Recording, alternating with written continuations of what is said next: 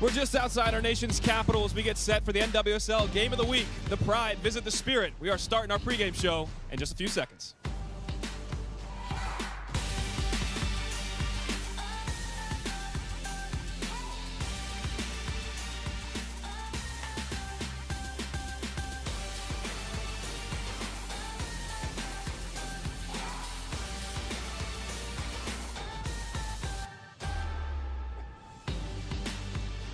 At Maureen Hendricks Field getting set for the NWSL Game of the Week. The Pride visiting the Washington Spirit. Hawker is here. He's ready for his first ever soccer game. Hawker's pumped. His family's pumped. Great to have you guys all here. We're happy to be here for you again. The NWSL pregame show the second time, we're going to have a night game, NWSL on ESPN, presented by Lifetime. Yes, it's a mouthful, but you will enjoy it. In about 20 minutes, we'll kick off. We've got a huge game coming up. The Pride, a team right now tied for second in the league. The Spirit, a team trying to get going, but because of such a logjam, three points will go a long way for their season. We'll get you all the storylines cut up across the league. Obviously, a big week. The Christen Press trade, Morgan Bryan coming back in the league. Kate Markgraf will join me to talk about all of that, break down the game. But before we get there, let's get you the lineups. Get Jenn Hildreth to check them out. And Jen, we'll call her uh, Jen Cool, I believe, in her glasses right now. Gives you the lineups. Oh, oh, that's a surprise for later, Dalen. I'm going to break out Jen Cool in a little bit as I welcome you guys into our booth and what Dalen likes to call the ivory tower. Not so much up here, but hey, it's not so bad all. So we're, we're getting things ready for the game. And in this one, it is a second meeting of the season between these two teams. Washington winning the first one, but that was early in the season. You're going to see a lot of changes, though, to the lineups from that game to this one. And I'm sorry, Washington Spirit fans, I don't have much of an update for you on Mallory Pugh other than to tell you she's still rehabbing, not here with the team. So this is the lineup as it stands. Unfortunately, you also notice no Rose Lavelle. Now, she is available, Jim Gabarra told us, but they're being cautious as she did have some pain in that hamstring after the last game. Joanna Lohman also getting into the starting lineup again today as Stefania Banini, a late scratch due to some hamstring tightness, although she also would be available if needed. Aubrey Bledsoe in goal, facing her former team, the Orlando Pride a team that has really started scoring some goals. It's what we all expected with this potent lineup that they have. Alex Morgan right at the top up there. Sydney Leroux, how good has she been? Two braces on the season, four goals the last three games, and four goals also for Chioma Ubogagu. Marta starting this match on the bench, but she will be available for Tom Sermanni's side. And what a difference she made coming off the bench in their last game, a 3 2 win against Sky Blue FC. So that's your little sneak peek at the lineups for this matchup. We're going to go ahead and get you back down to Dalen and Kate, get their thoughts. Specifically, guys, maybe we start with no Rose Lavelle and the impact that that will have on the Washington Spirit.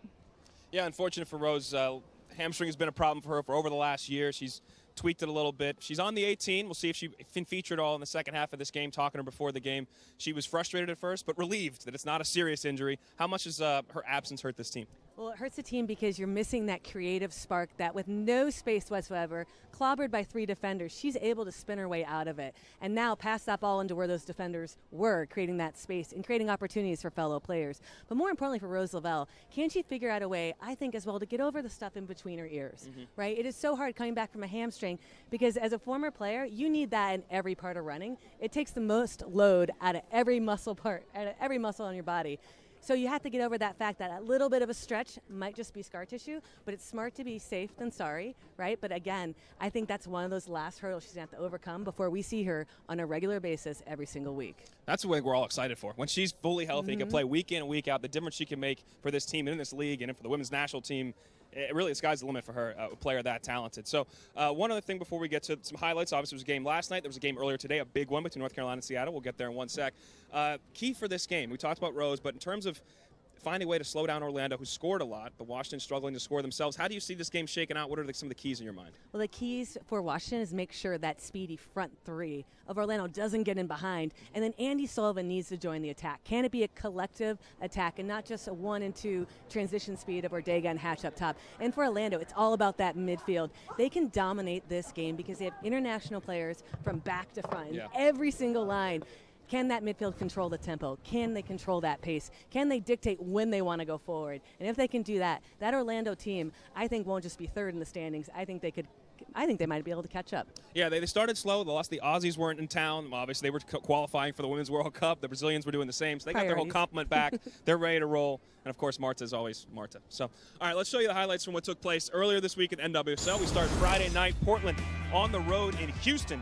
In the ninth minute, Tobin Heath, she's battled injuries. She missed uh, most of the game two weeks ago, but she features here, scores a goal nine minutes in, assisted by Christine Sinclair, who's been absolutely ridiculous so far this season. But then at 12th minute mark, Sofia Huerta just joins the team for Houston, traded from Chicago. We will talk about that. She tallies the first time for the dash, ties it up at one. But back came Portland the other way. Anna Maria Srnogorcevic. God, I love that name. She's able to put it away the second time off of Jan, Jane Campbell, gets the header to go. Swiss International lights the lamp use some hockey term. Capitals did win the World, the uh, Stanley Cup here. And then Christine Sinclair gets on the ball. Jane Campbell won that one back, went through her hands, but Sinclair leads the league in goals and now tied for assists. The Canadians having a phenomenal campaign. They win 3-1. North Carolina on the road in Seattle. Seattle second in the standings. North Carolina first. Seattle gets on the board first. Megan Oyster heads it in, puts it on at 1 0. They're elated up in the Pacific Northwest. Eh, things went south after that. Jaelene Hinkle, beautiful cross. Lynn Williams delivers on the other side in the 27th minute. Then Crystal Dunn, the U.S. international, she'll get in the mix. And at this point, Kate, the route was kind of on. Yeah, for Seattle, you hope that they didn't mail it in and say, okay, we're all done, but they didn't. The quality of North Carolina, they're, all the players are in the right system. Paul Riley set up a system just for them, and they just totally dominated Seattle this entire game. And Merritt Mathias to find the back of the net, as I said, they started pouring a great move, skipping past defenders, lighting it up, getting a little fortunate there as well. 3 1 they go up there, and then Crystal Dunn does it again in the 70th minute.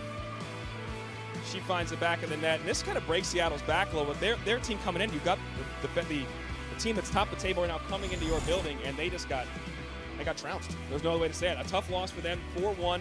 Chicago and Utah, that's interesting because, of course, Christen Press, the trade we all talked about, she came back in the league. She goes to play at Utah, playing her former team, Chicago. And, of course, you can see that game on Go90, the app, go90.com at 8 Eastern. That game kicks off. Let's show you the standings now as we stand right now. North Carolina is top, and then second, Seattle, Orlando, Portland, all in a logjam there with 19 points.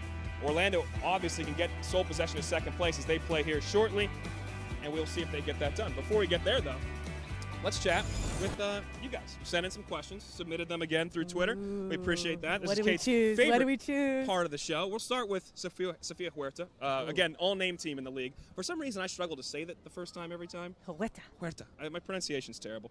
All right, here's the question coming in from at Rio underscore Rico TX. Now the million dollar question is whether Sofia Huerta plays as a defensive or defender or midfielder for the Houston Dash. This is obviously an issue because for the U.S. Women's National Team and Jill Ellis, you know this well.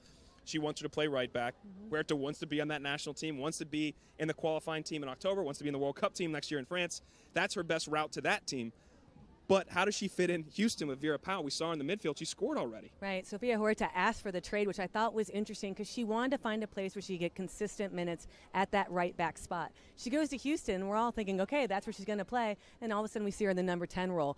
Vera Pauw doesn't have to do what Sofia yeah. Huerta wants to do, and nor does Vera Pauw have to do what Jill Ellis wants her to do. What's important for Huerta, though, is 90 consecutive minutes because you cannot ever replicate a real game and being game fit. And not only that, learning how to connect with others. So although she's not playing with a ton of space in front of her that you get it right back and having to make those game time decisions on which ball you play, she is learning how to turn under pressure and, again, working in tight spaces. Yeah, really unfortunate situation. I mean, a, a, a, just a difficult situation. You know, the player wants to play at a certain spot for one team, but club comes first, really, a lot of times because that's who's making the decisions week in and week out. We'll see if she still can work her way on a Jill Ellis's roster consistently as we roll out for the rest of these friendlies they have coming up and then the qualifying tournament coming up in October. Now, the news of the week also, Huerta was part of it, but Christen Press coming back into the league, part of a three-way, three-team trade between Houston, Chicago, and Utah. So Press goes over to Utah now.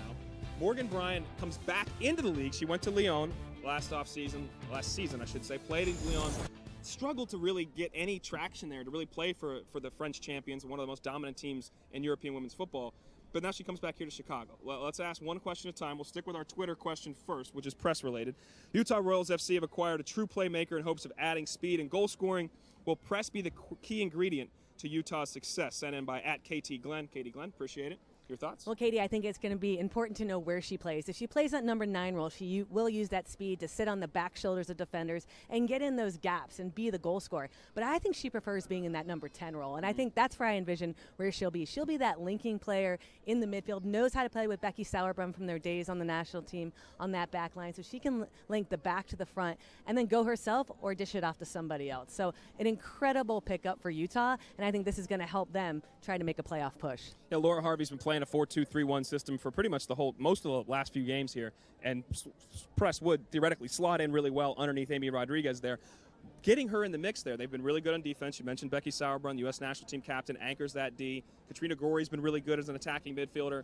Is this a team that you could see possibly moving up enough to host a playoff game? Because right now, I mean, it seems like North Carolina is going to. We're going to Carolina for a playoff game. the question is, where else are we going? Do you think Utah could be that destination? Yeah, but I, I think a lot of teams could be that destination. I mean, that is such a logjam. There's so much parity in this league, as, and as fans, that's what we love to see. So only the cream really, really, really will rise to the top, like the Toni Kroos moment from today. Who's going to take it on their back and be able to elevate this team? And I think Utah, with Christen Press in that lineup, gives them a fighting chance. It'll be interesting to see that race down the down the uh, stretch here, but we still got a long way to go and a lot of opportunities here. Orlando's got a big one here today. They can get sole possession of second place if they win that game. Let's go back up to Jenn Hildreth now in the booth with who's got more uh, with her, her her Jen Cool glasses. Jen, I'm sorry, I thought you were wearing them before. No. I, I I think I just messed up, I- you know they look great. I just had to make you wait for this little gem. Anybody remember these? I think this was, was the NWSL Championship maybe a couple of years ago. But anyway, I can see nothing with them on, so let's lose those because we want to tell you guys about the ESPYS. You get a chance to vote for some NWSL players in three different categories. ESPYS coming up July 18th.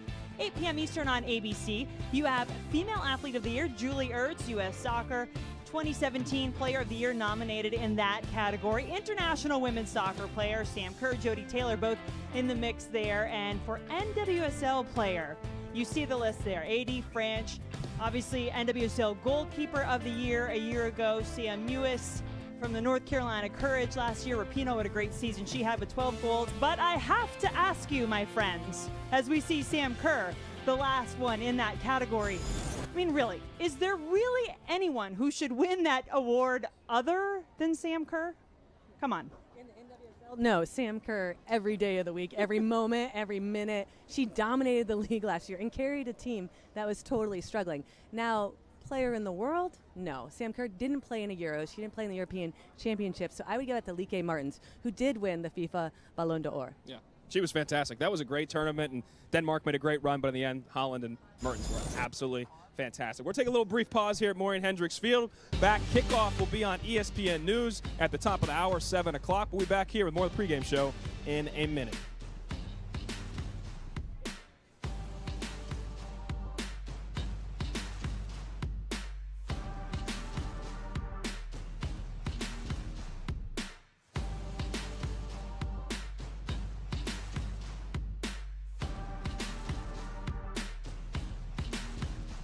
All right, back here on the pregame show with Alex Morgan. And Alex, you're not just a global superstar, you're now a movie star. Alex and me came out a couple weeks ago. How did that come about? Give me the backstory and how you got into making and being part of a movie. I'm just so glad that it all came together and um, we made it happen. And uh, you know, I think it came out great. Obviously, it, it came started with an idea from Eric Champnella, the director and the writer of the film, and just approached me about it. I kind of thought he was crazy initially, and then I was like, you know what, this could be an amazing thing that we have going on here. So I was all in. After that, Warner Brothers picked it up, and Nickelodeon um, joined along, and uh, I think it's just been great so far, and I've gotten a great reception from the movie too. Now, we know you've done a bunch of commercials, but this was your first acting in terms of uh, a movie? It was, yeah. I was actually in a good amount of scenes. Um, I had never done acting um, this extensive before, so I say I was a little rough around the edges. Um, but because I've been playing soccer my entire life, but um, there's definitely special pressure to penalties and obviously um, being expected to score, being expect, being that one that should put pressure on my, people on my shoulders, should put that pressure and take on that pressure. Um, it's it still has to be the penalties, I'd say. All right, let me ask you one question about the game real quick, though. Coming in here, how do you find a way to walk out of here with the results and a, tough place where you guys lost earlier in the season here? Yeah, it's difficult. I mean, because obviously you can look at their roster and see that um, Washington has a few injuries, um, see that they're more on the bottom of the table, but that's just. Um, that's just us coming in there and trying to make excuses. And for us, we need to play good soccer. I feel like we've just been a little inc- inconsistent throughout the season.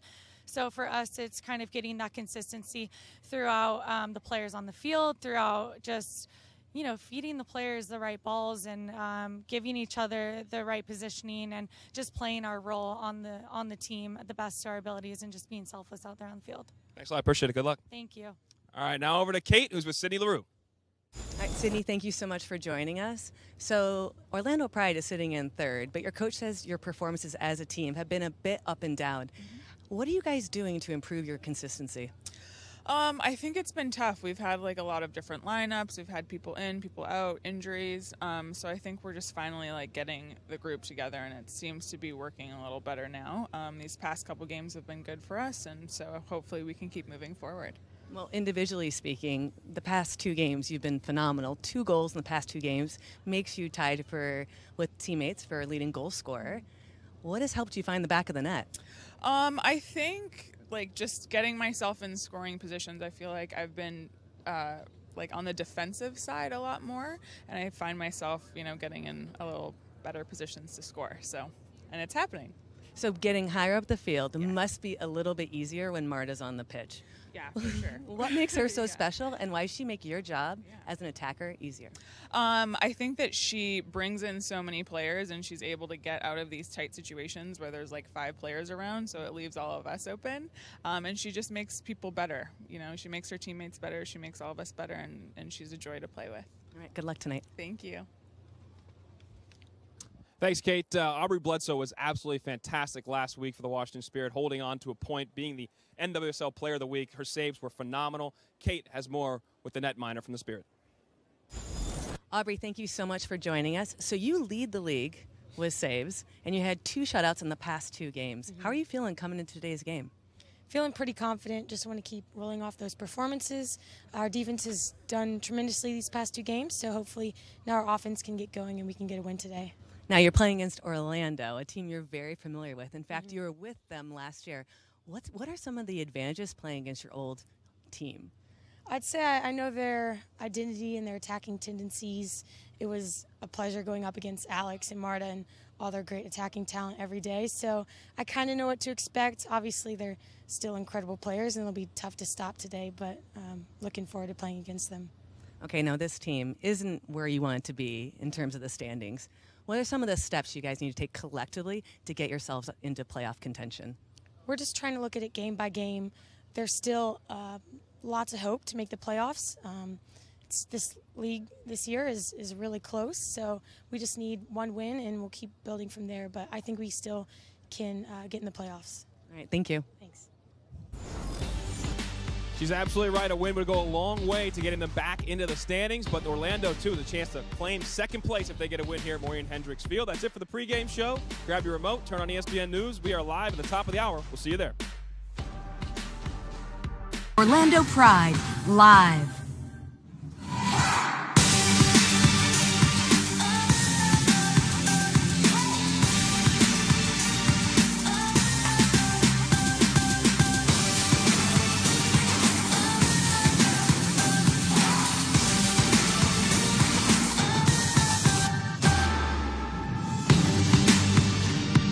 Welcome to Maureen Hendricks Field at the Maryland Soccerplex in Boyds, Maryland. It is the NWSL on ESPN presented by Lifetime. The Spirit hosting the Orlando Pride. And this Orlando attack, one of the best in the National Women's Soccer League, led by the leading scorer for the U.S. women's national team in 2018, Alex Morgan. And here, as of late, Sydney Leroux, too, has been a scoring supernova four goals in the last three games for Leroux to combine with Morgan in that attack. Hi, everybody. So glad to have you with us. I'm Jenn Hildreth, joined by Olympic and World Cup champion Kate Markgraf. And Kate, this Washington team may have struggled to score so far this season, but they've been really good on defense, shut out their last two opponents. How are they going to handle this Orlando attack? Well, you nailed it right in the first part is how are they going to collectively attack? And that's something they've been working on. They are known as a transition team because they have the incredible speed of Hatch and Ordega up top. But can they now build collectively and get Andy Sullivan in the attack and rely on Bledsoe in the back to keep him nice and sound, which is going to be a pretty tough task against Alex Morgan and Sydney Leroux. And if that midfield, that Australian midfield that was not here the last time these two teams faced each other, when Washington Spirit 1 2 0, it's mm-hmm. going to be a totally different game. Can Van Egmond, can they hold on the ball? Can Kennedy help create? This will be an even more potent attack if they can build that chemistry. Well, certainly one of the players you always talk about in that attack is Alex Morgan. And no surprise that her impact, you can see it in the record, especially when she scores. Look at that, the last two seasons, the Pride unbeaten when Alex Morgan puts it in the back of the net, and she's standing by with Dalen Cuff. Thanks, Jen. Alex, you guys have been great on the road as of late. Three and two in your last five, no losses. How do you walk into this building right here and walk out with three points or at least one point? Yeah, I think we're feeling pretty good. Last time we came here, we didn't get the win. Um, we were missing quite a few players, and I wasn't here with the team either. So we're hoping just to build off of last game. Um, obviously, like just the last couple games, we've noticed that we haven't really had two wins in a row, and that's kind of been something that um, we want to continue to build off of good performances, and we just haven't quite done that. We've kind of been a little more inconsistent, so we want that consistency um, to come for us throughout the season. Um, we feel really good today, and so hopefully we can we can get the win because it is a perfect pitch, and we're looking forward to the game. Thanks, appreciate it. Good luck. Thank you. All right, when we return, Jen and Kate will take you through tonight's starting lineups. We have the opening kick watching the NWSL on ESPN presented by Lifetime.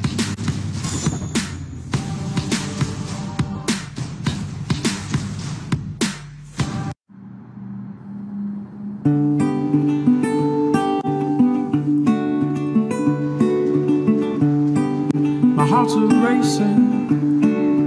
Let's go, chase her down.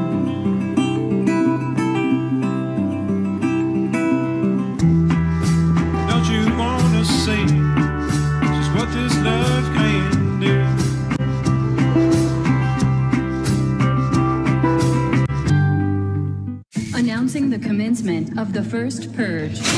Our neighborhood is under siege. There's a lot of good people we're gonna have to protect. We're safe. For now. Stay strong. I'm coming. The first purge. Rated R. Get yourself a good seat as we welcome you back to the Maryland Soccerplex in Boyds, Maryland. The Washington Spirit hosting the Orlando Pride, a team that has been very good on the road here as of late. Dropped their first two on the road. Unbeaten since that time. We'll see if that streak can continue. They did lose to this Washington Spirit team earlier in the season. And now let's take a look at this starting lineup for the Spirit. You see Rebecca Quinn moving back up into the midfield with Whitney Church back on that back line. Also important, Aubrey Bledsoe, the NWSL saves leader, is anchoring that back line along with veteran Estelle Johnson. It's going to be key communication for them on where to hold their line to make sure they don't give up too much space in the back, which the pacey Orlando can take advantage of. Watch number six, Andy Sullivan. They want her to join the attack a little bit more. And this is a team that's been playing in a 4-3-3, but they're going to a 4-4-2 with Joanna Lohman in for Banini, will be sitting behind that front line. Lohman making her third start of the season for the Spirit. Just in time for her birthday as well. Now the starting lineup for this Orlando Pride team. No Marta in the starting 11, though she is available. But you still have a ton of firepower up top. Alex Morgan, Chioma Ubogagu, Sydney Leroux. And they have internationals in every single line. You have Shelina Zadorsky, who is that anchor back there that's trying to get everyone on the same page, even though they don't speak the same language. Alana Kennedy will sit and hold a little bit more, traditionally a center back. She's gotten used to playing in that holding six role, and they're looking for Alex Morgan, Sydney Leroux, the bugaboo up top. 2 0 was the score, the first meeting of these two teams in week two of the season. Here are the two goalkeepers. You see Ashlyn Harris packed in the middle of that huddle. U.S. national team goalkeeper. She will be in net for Orlando. And Aubrey Bledsoe, as you mentioned, the NWSL save leader and the NWSL player of the week. She's really been playing well for this team that has had a stingy defense, shutting out their last two opponents. Not only that, the backup to Harris last year before she was traded. Knows this team very well, and you know that always brings a little extra chip on the shoulder. Ashley Hatch, Sydney Leroux, a couple of those players to keep an eye on up top for their respective teams. Hatch coming over to this Washington side after last season with the North Carolina Courage.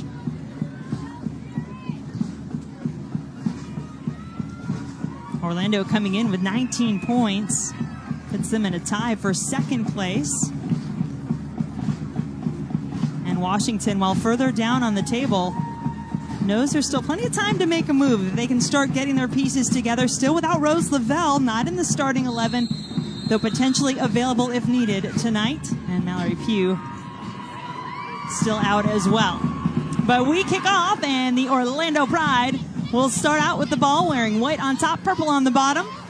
And we'll quickly look to get it up to that front line. Caprice Dydasco, that outside back position. So speedy for the Spirit. Here's Andy Sullivan. They'll have to halt for a moment and ready for this free kick. Eric Tattersall, our referee this evening. And what a weapon Christine Nairn has when she has an opportunity like this. Gets a look at one early in this one. NWSL's all-time assist leader sends it into the area. Kennedy up in the air for it. Those two have connected before for a goal this season off of a corner kick. And we were a little bit nervous coming into this one with the weather, but it has turned into a gorgeous evening here in Boyds, Maryland. 76 degrees, we'll take it. A little bit of wind, some clouds in the sky. I'm your much good luck nicer. charm. You I are. Your, I am your good luck charm, basically. Yeah, I'm glad there's no five Yeah, hour lightning okay. delay this time. Thank you, Kate. that was what we all endured last time we were here, and the Chicago Red Stars picked up a 2 0 win after that long delay. Hatch trying to connect with Franny Ordega, the Nigerian international, that time.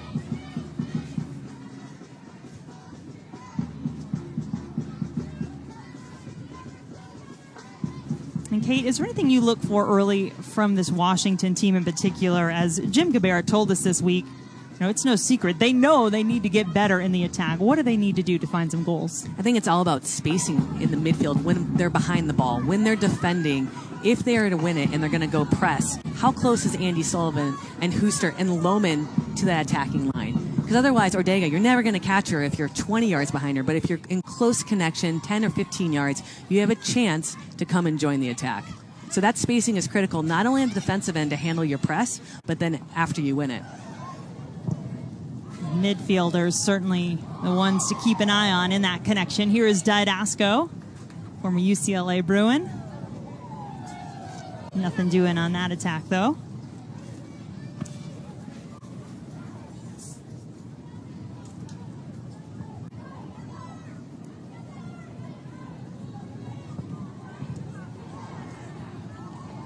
mentioned that first meeting a couple of times between these two teams that came back in week two. It's hard to even really compare. A, it was so long ago, and then B, there were several key players not in the mix, especially for Orlando, finds itself again on the attack here. Leroux over to Morgan. She's going to take a quick shot, force a save from Bledsoe. Jim Gabarra, longtime head coach in women's professional soccer, and his third year with this Washington Spirit team. He's had to deal with injuries and players in and out, as have most teams in the league to one extent or another. Here is Ordega. And we did learn that Estefania Banini, who was expected to be in the starting 11 for Washington, the Argentinian, unable to start tonight, just being cautious with some hamstring tightness. Dalen Cuff found that out for us before the match, talking to Jim Gabarra.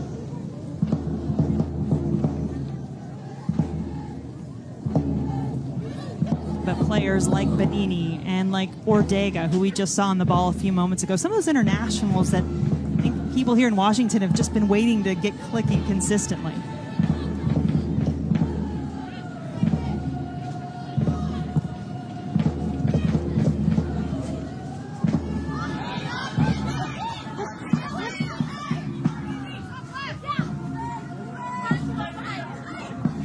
Zubogugu, who's made quite a name for herself in this Orlando attack despite all of those big names around her. She has four goals on the season, one of three Orlando players with four tallies, along with Rachel Hill off the bench and Sydney Leroux.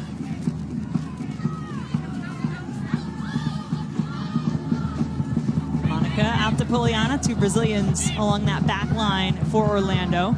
Look to get it up to Emily Van Egmond. In her first year with Orlando.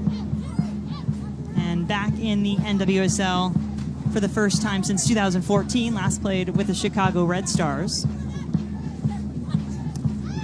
Kennedy going low to try to head that ball in. Alana Kennedy, another Australian for Tom Sermanni's side.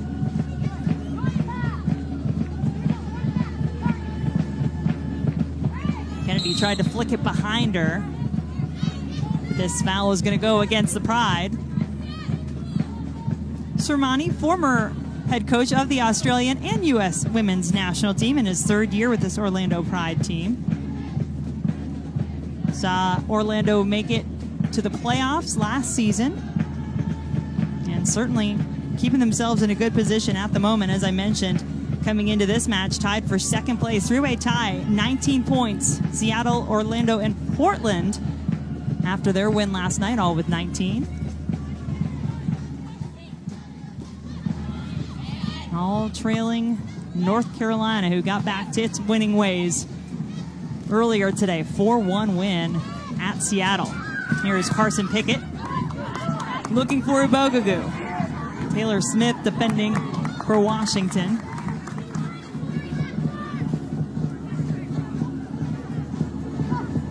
Morgan back to the goal. Back out to Nairn. Bledsoe punched it out and had to. And then Sullivan just clears it out of bounds. Bledsoe coming up big, and this is critical because Van Egmond had snuck inside and Huster had lost her mark with that delayed run from center midfield. Alex Morgan, knowing she had players on her back, didn't have a chance to shoot on goal, smartly lays it back and he creates an opportunity for the midfielder that put that extra effort to get into the box.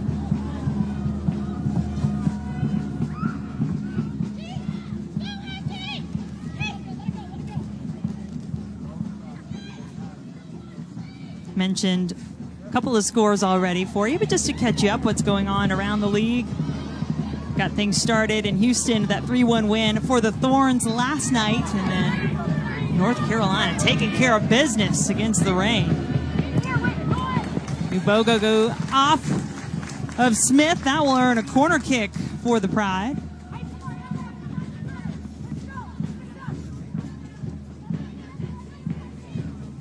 So perhaps another challenge here for Bledsoe with the sun in her eyes a little bit too.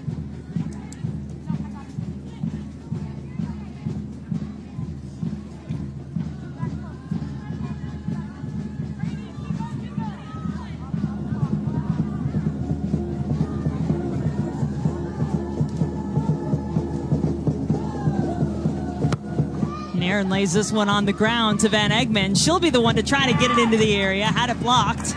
Rebecca Quinn and Ordega. Can Washington keep some numbers with the speedy Ordega as she breaks out on her own? Hatch is up there with her. Ordega tried to get it over to Hatch, who got the touch, but too high. And this is we talk about their transition speed right off a corner kick. They're able to explode into space using the pace of Ordega up top. Draws two defenders to her. Just that last touch right there, it slowed her down. It wasn't aggressive enough, made her hinge on her momentum just a little bit. She knows she doesn't want to strike with her left there, trying to find her strike partner in Ashley Hatch, who's just leaning backwards a little bit. The timing was not on.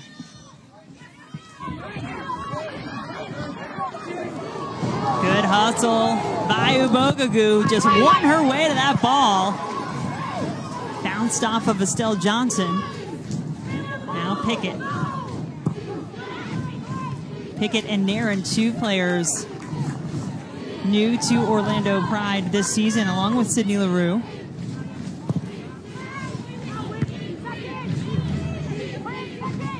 Ubogagu and Morgan trying to work together. Here's Nairn. Ubogagu slipped it through for Morgan. Got there just before the end line, but put it in the hands of Bledsoe. And a nice little interplay, and it starts with the long ball that comes in there and able to settle it. Ubogagu, quick one, two, sees the seam in the corridor, open for Morgan, who is bypassing Smith with her speed, timed her run so well because she held off her a little bit and then started the minute Ubogagu got on the half turn. So a couple of pretty decent, we'll say, chances for both teams here through the first 10 minutes. That pass picked off by Kennedy, who's looking to catch Bledsoe off her line, and all she does.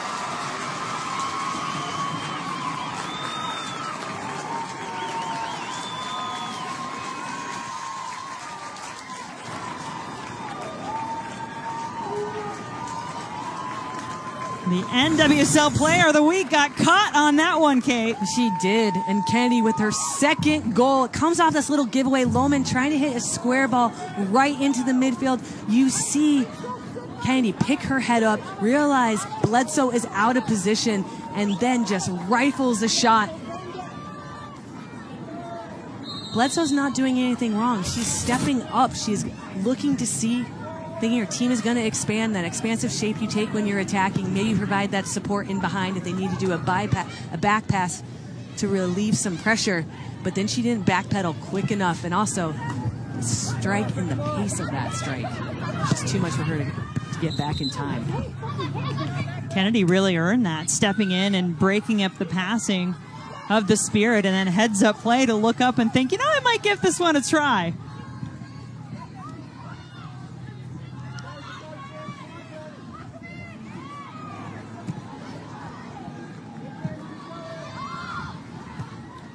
With the World Cup going on, that obviously, you know, was reminiscent of Michael Bradley's hit from midfield in Men's World Cup qualifier against Mexico. They had talked about that and prepared that. I just asked Tom Sermanni right after that went in, did you guys talk about that at all? And he said, no, I didn't. But if anybody asked me, I'll say I did. It was not discussed. Just a real smart play, heads up by Kennedy to look up, see off her line, and hit it just perfectly. I like the, the World Cup tie-in, even though there's a little bit of salt in the wound there. Dalen talking about the U.S. not getting a chance to see that team, of course, on the world stage this time around. Lohman intercepting this time for Washington. Looked like she had the same idea on the other end. Took a quick shot, had a block though.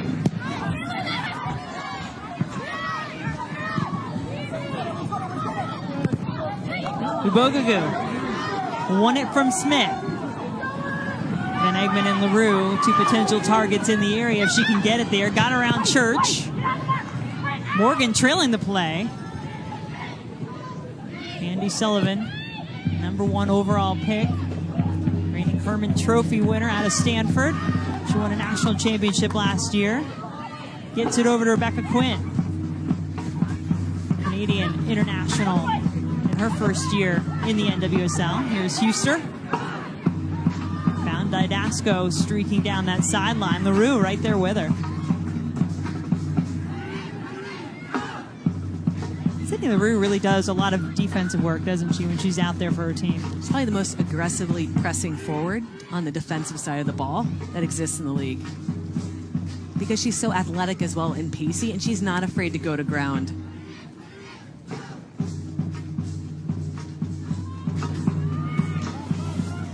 Kennedy, the goal scorer, had it for a moment.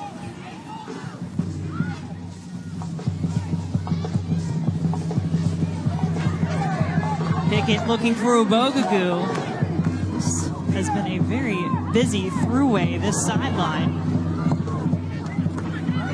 First 13 minutes and change of this match for Orlando. Now, that's just because Taylor Smith's starting position. She's in that back four, and you don't step up the 10 yards to your opponent, who you're supposed to be marking, unless you absolutely know she's getting the ball to your feet. Because you don't want to leave that space in behind.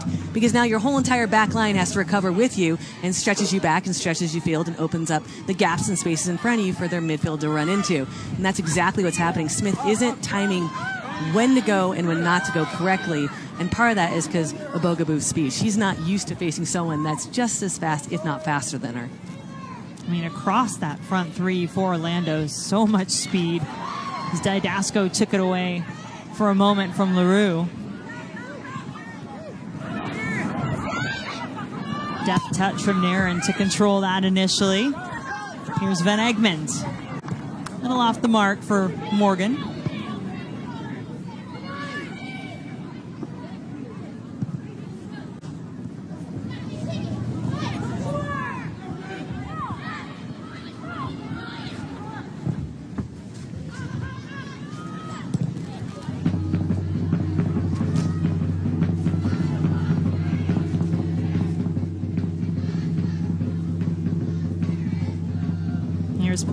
Poliana, 27 year old Brazilian.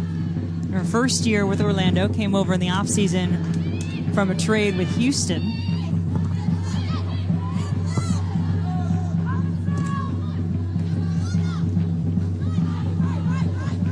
Van Egmond couldn't hang on to it.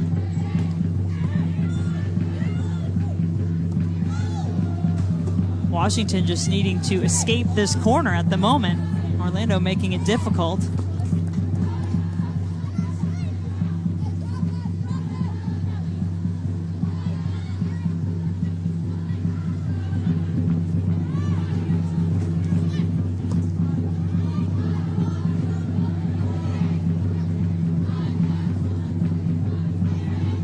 Poliana. Out of the reach of Van Egmond. A heads up play by Alanna Kennedy, and you get to see the amount of power. Hits it with her laces, and it's got a bit of backspin, so although it's going high, it will drop. And you see Bledsoe. I wonder if she just could have taken three or four more steps backwards before she put that hand up, possibly not realizing where she is in relation to her own goal, because I think she could have gotten it, been a bit more patient, and stepped back. But heads up play from Alanna Kennedy. And I haven't seen a goal like that since probably Yael Averbuch. She's done that. That's on YouTube, actually. She did that in college off a kickoff. She's done that. But that's that little bit of international savvy that makes the whole entire league better. Carli Lloyd knocked a long one in Yes. at the World Cup. Oh, that was 2015. An impressive game from her. Uh, the, indeed. Hand trick. Uh huh. Yeah.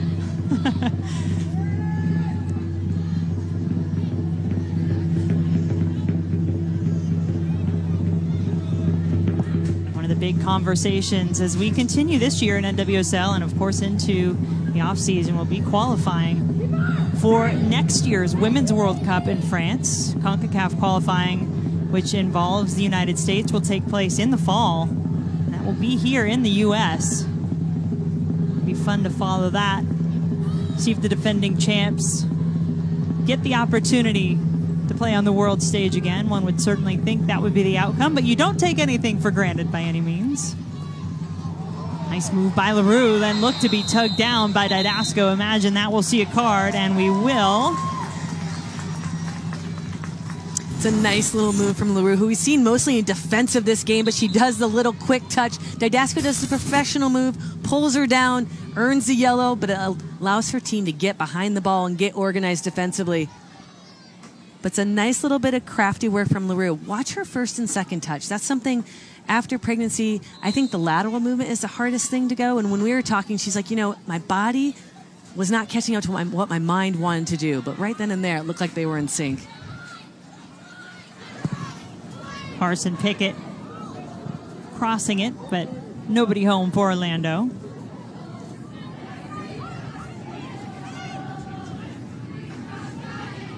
Sydney Leroux really seems to be finding her form. Four goals off a couple of braces in the last three matches. Had obviously that year that she missed with the birth of her son Cassius and first year with Orlando. And in a stacked attack, making sure people don't forget the name of Sydney Leroux. Been playing really well lately.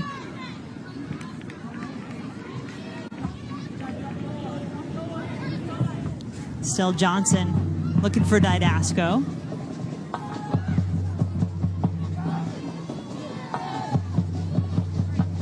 Poliana saw an opening, took it up there herself. Big switch over to Ubogagu. Has Van Egmond overlapping on the outside, gets it to her. Here is Van Egmond. Orlando will reset. Van Egmond looking for that far post. Bledsoe had it covered.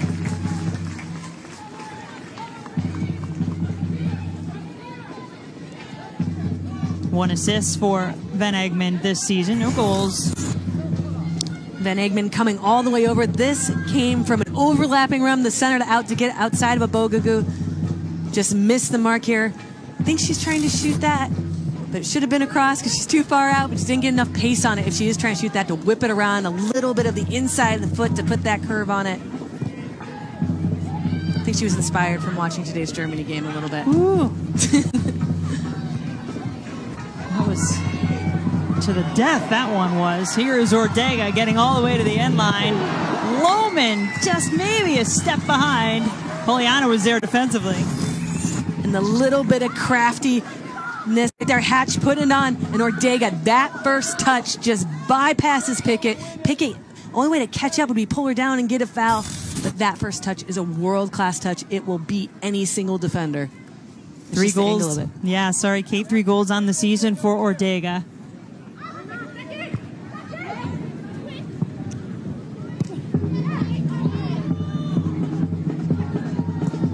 Washington has some numbers in this attack.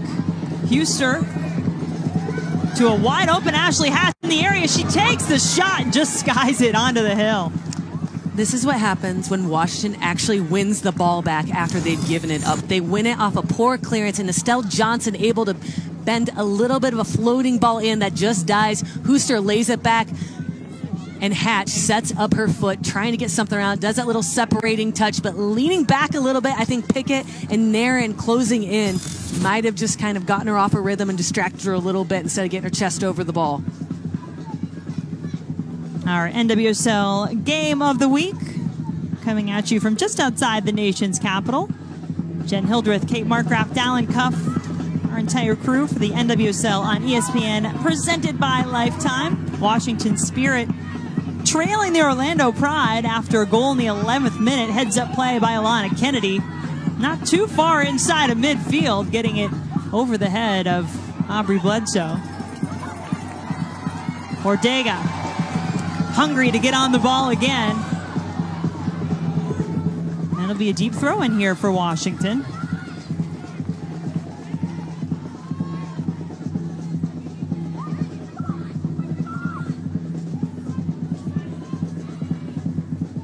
Washington Spirit team held scoreless their last three matches. Now they've managed to salvage a couple of points by shutting out their opponent the last two. They're trying desperately to get some more umph into that attack. Quinn with the header back toward Dydasco.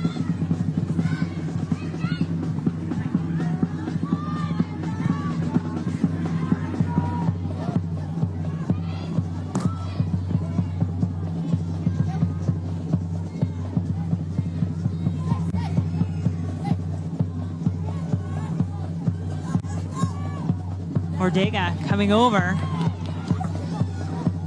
Eventually does have it cleared out of bounds. Forcing the issue a bit though, Ordega. There the two are, the Franny and Joe show, Ordega and Lohman. I don't know if you caught that on social media. Those two paid a visit to our production truck yesterday. Morgan flipped up and over, an ooh and ah from the crowd, but no whistle from our referee.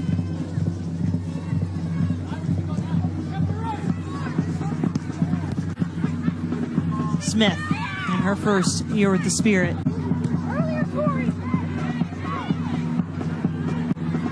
There's Quinn. Just going to kick it out of bounds as Morgan's still down over there. And Washington's trying to build a little bit, but it was an errant ball, and Johnson comes stepping in, and Morgan's trying to win it back. The extra little long touch of that ball gets between both of them in a bit of a collision.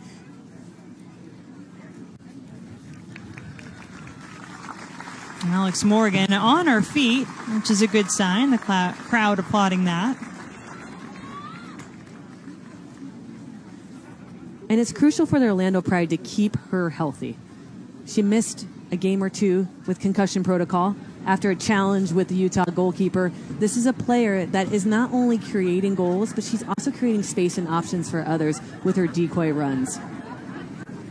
If they want to build any continuity, and they all talk about we need to find consistency in our performances week in and week out, they need all the key players together on a more consistent basis and not so many injuries, which they can't control. But that's Right. this is a key thing for them. And Morgan did miss the first meeting between these two teams. 2 nothing win by the Spirit here on this field in week two. And not only does Orlando want to keep her healthy, you know, Jill Ellis and the U.S. national team anxious to keep Alex Morgan healthy as well, leading scorer for the red, white, and blue in this calendar year with six goals for the U.S. She's up and running now. Nairn wastes no time in getting it to her. Morgan shot, though, not on target. Like the ball. That's a beautiful ball, but I love the defending by Estelle Johnson. Watch her play as center back. She knows Morgan's on her back shoulder, so instead of going and challenging for that ball, she lays off a little bit and is allowed to put enough pressure on her and make Morgan take that shot from distance. But to hit that on the half volley, she needs to slice it a little bit more, just a little bit of half slice in order to keep that ball lower and actually challenge Bledsoe.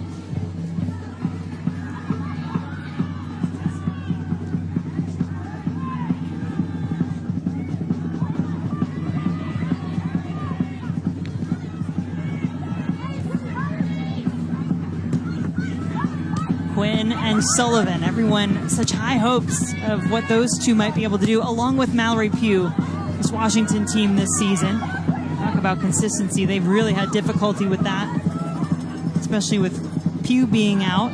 Everyone anxious to get her back. Lavelle, international call ups. Right. Yeah, Rose Lavelle, Jim Gabarra telling us, hadn't been able to train this week. They're being careful as she had some inflammation in that hamstring, and obviously that is an injury that kept her out for a long time as Hatch is on the move. Hatch is just going to take the shot with her left foot. Harris, no problem. And you've got that weapon sitting on your bench if you're Orlando as well. The Brazilian international, a spark plug anytime she's on the field. Marta came off the bench in the last match for Orlando, made a huge difference as they got the win 3 2 over Sky Blue FC. In a match that went down at the 83rd minute, Rachel Hill with the game winner off the bench for the Pride. Ordega. How huge would a goal be for Washington and their confidence? Lohman trying to slide in toward it.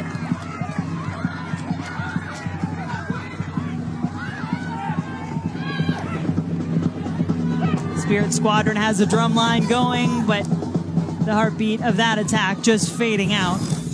Ordega picks her head up, realizes she's the one that's going to have to hit that restraining line, but Lohman is the only one else to join her as Hatch had, the center forward, had come all the way back.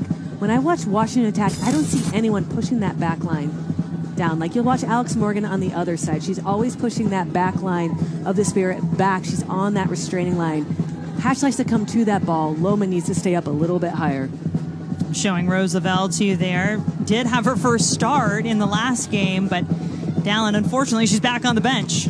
Yeah, I was talking to her before the match today. She said, you know, first she was really frustrated when she pulled up and felt that pain in her hamstring last week. She, it really is just some scar tissue that came loose and caused some pain. She said, not a long-term injury, but short term. But now she's relieved. At first, really frustrated. Now relieved that it's going to be a brief injury. She expects to be back soon. That's certainly good news, Dalen. Close range. Quinn taking the worst of that one. It seems no worse for the wear. Rebecca Quinn, number three overall pick in last year's draft. Played collegiately at Duke University, went to the College Cup, and also a member of the Canadian national team.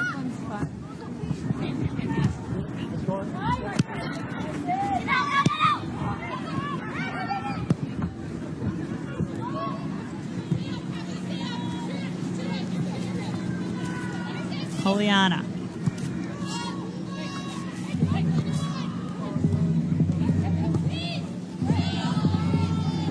Shelina Zadorsky, another Canadian international on the field, this time for Orlando.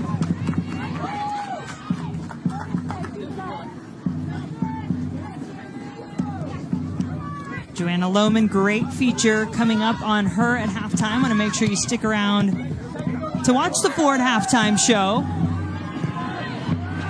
As Leroux and Morgan, maybe, yes, Morgan did get to it, but it goes to Bledsoe. Leroux has the right idea. Now she shifted sides of the field as this Sorry. left side is being very successful in getting in those channels. You get to see Leroux doing a little bit of a slotted ball. Watch Morgan's movement. Watching, watching, watching, showing where she wants it. Love the nonverbal communication. Throwing Whitney Church off, sits on her back shoulder. Just a little bit too much heat on that ball. Morgan isn't able to get her hips around it and get it cut back in. But I was wondering what the interchange and the flexibility of that front three is. Morgan likes to be that center pivot. We get to see Leroux over on this side and now Ubogagu on the other. How successful Leroux's going to be over here? Yeah, I think you- Smith has had a lot to handle so far. What do you make of that change?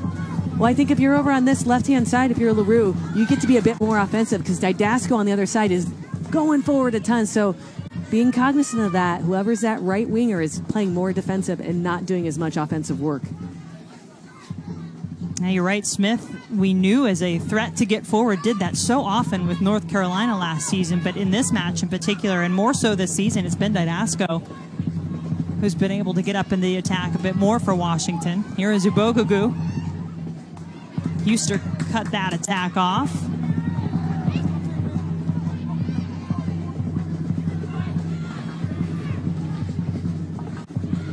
Lohman.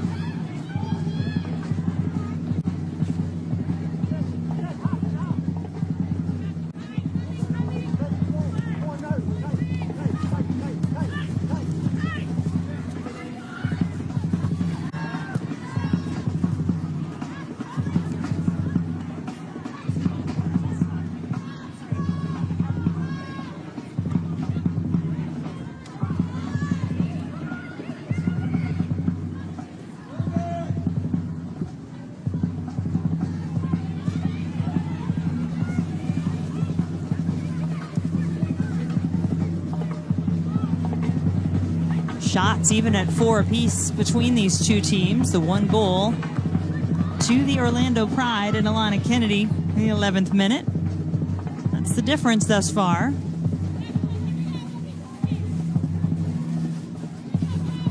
A win today could put Orlando into sole possession of second place behind North Carolina.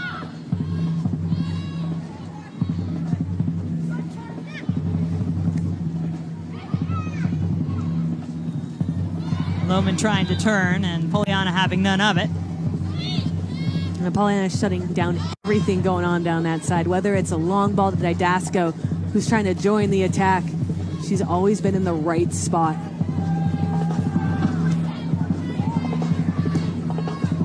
Pickett looking for Nairn, who got in behind that back line of Washington. Nairn trying to lay it across, set up her teammates, but just a little bit in between the two runners she had. Now Huster on the counter for Washington. Huster, the only remaining Washington Spirit player from year one, been here the entire time.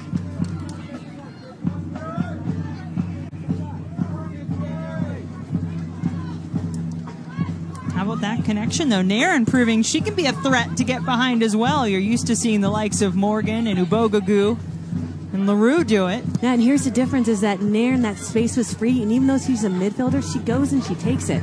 You don't see that happening on the other end. In that last play, Ordega came out, Hat should have come over to be that outlet up top a little bit wider, and she didn't. So that second run is proving crucial for the attacking success for Orlando.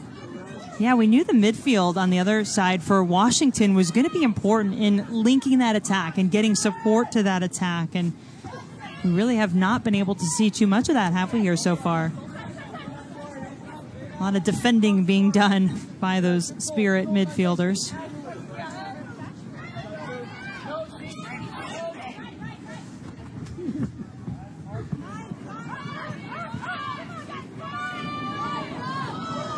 Plenty of time for Zadorsky to make up her mind on what she wanted to do. Had her sight set on Morgan.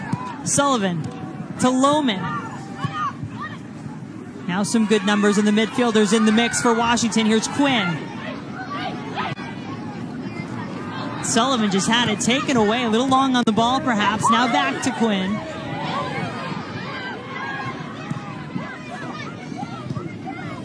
Ordega and Leroux. What a matchup that is.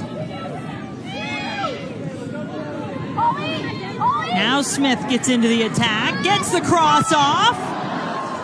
Hatch stuck a leg out, but didn't have too much hope on that ball. And this is what mobility can get you. It creates opportunities and opens up space. Here's Smith, a little bit of a dummy run that allowed Smith to get that ball, catching Leroux a little bit off guards. And Hatch, once again, the ball is a little bit behind her. And it's that offensive piece they have worked on the entire week. Coach Jim Gabarra said, we didn't even talk about defense. We just practice, practice, practice on trying to build that chemistry up top. And part of that chemistry is knowing when to run and that timing of that run to get on the end of crosses. Leroux cuts it to the inside. Was looking for Van Egmond. Church broke that up, and then a big collision between Leroux and Sullivan. They both just went in hard for the ball.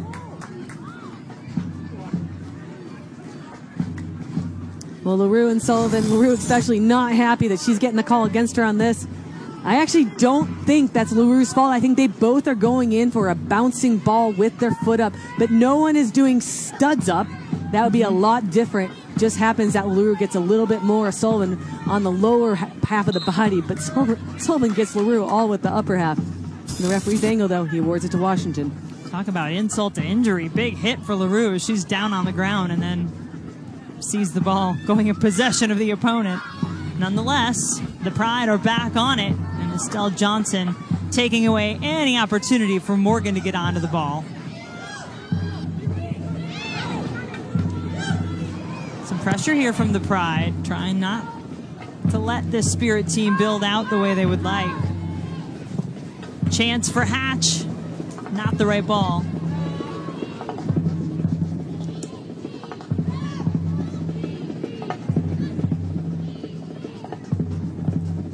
Ashley Hatch, NWSL Rookie of the Year last season with North Carolina, seven goals, tied for the most in NWSL history by a rookie. Has three goals, one assist this season for Washington.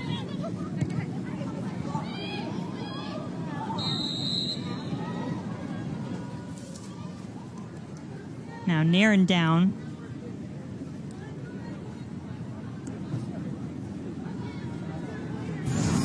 Nairn always busy in that midfield, trying to look to set up other people. Dydasco late to the challenge. Good call by the referee. Had no ability to win that ball. Off the kick, headed down by Leroux Morgan, trying to get to it. And remember, Dydasco already on a yellow. She's got to be careful. Second corner kick of the match coming for the Pride.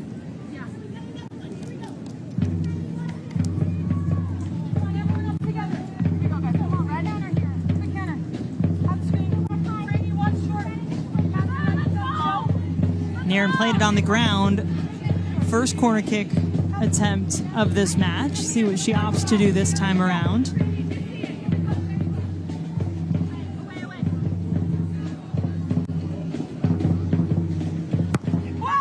Her left-footed ball, outswinger. Kennedy couldn't get to it for the second time.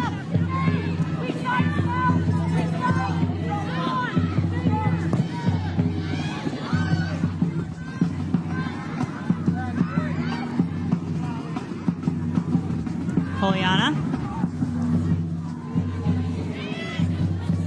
This gives it back to Washington. Difficult spot, however.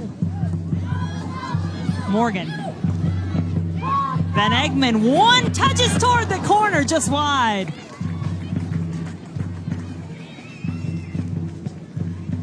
Every time Washington gives up the ball too is easily, Orlando is punishing them by quickly attacking the other end. The other Australian on the team, Van Egmond, once again on the score sheet as well, in a perfect position at the top of the box. Look at no one is marking her. Huster had come all the way over, losing that discipline to stay a bit more central. And I'm looking at Washington. I watch this midfield. I don't see a true number six. I don't see anyone holding, sitting in passing channels and winning tackles. They're chasing whoever their Could be chasing here as that bounce just over the head of Morgan. Go ahead, Kate. But they're not putting pressure on the service. And then when the runner starts to take off, they just let them go. So then now they're not man marked when they get into the box. It's interesting how they're setting up. One of them needs either between Huster and Rebecca Quinn. I've got bet it should be Huster will be a little bit more robust in that defensive midfield role. Now, sometimes can be difficult to to find those roles when you have had different players switching in and out.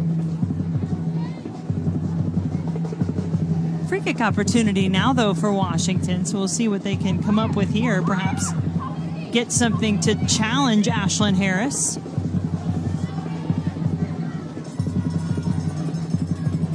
Good to see her get a start in one of those friendlies against China for the U.S. Church puts the ball into the box, but it bounces right to Harris.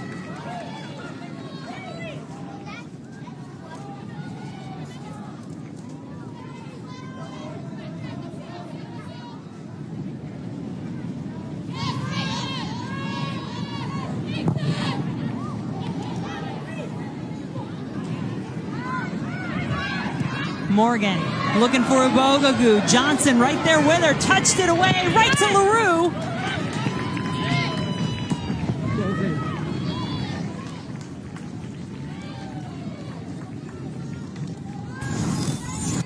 Again, all the space in midfield to do what they want. Alex Morgan here trying to play Ubogagu in. Tries to beat Estelle Johnson. Estelle Johnson gets a nick on it, goes straight back to Leroux. Not able to get clean contact. And Smith able to get a deflection. Bledsoe smartly picks it up. And now Washington's trying to create something on the attack. Sullivan finally winning it for the Spirit.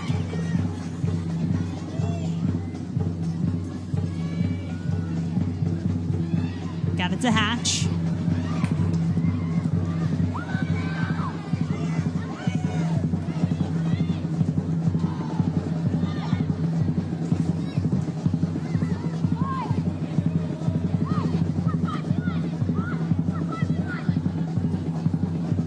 Bledsoe now.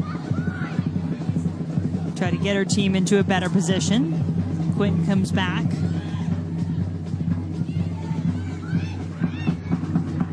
Church missed the last game against Seattle, excused absence. Quinn was in the back line, now back in the midfield. Hatch got pushed down, it looked like, but no call. Advantage. It was bouncing to Lohman.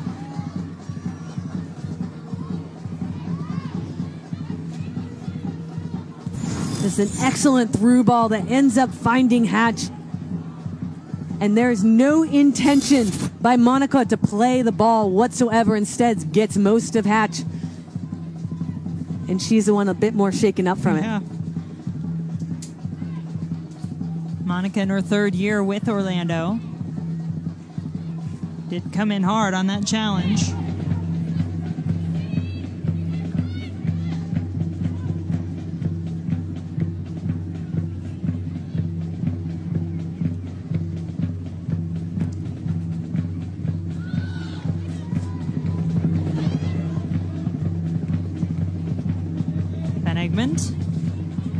Morgan with a sea of red around her finds Ubogagu. Couple of runs coming from the midfield. Saw Nairn get a pretty good opportunity off one of those such runs earlier this half. If you could only see my hand motions upside up in the box, I'm like, watch them go. Here they go. so if you know your midfielder's going to run past you, you got to get a body on him, or you just hit him just to put the run off by at least two seconds to give your defenders a chance to catch him, or you can communicate. But you don't hear that communication either. I'm not hearing from Huster or Quinn being like, Stel, Stel, or Church, here comes one. You don't hear that, so they don't know what's coming. As a former center back, that's incredibly difficult to now have a solid back line. I like to hear that defender and you come out or just hit him. Just do something. Oh, you got to do a little something. Soccer is a contact sport. Don't be afraid. Don't hurt anybody.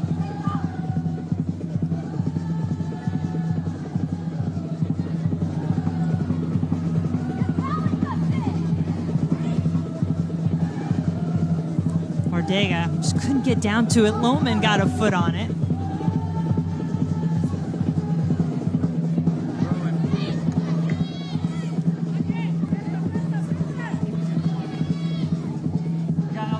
Remember that feature coming up on Joanna Lohman at halftime. It is Pride Month, and I'm not sure there is another player more prideful this month and in being who she is, and you're going to get to see that in this feature. Very nicely done at halftime.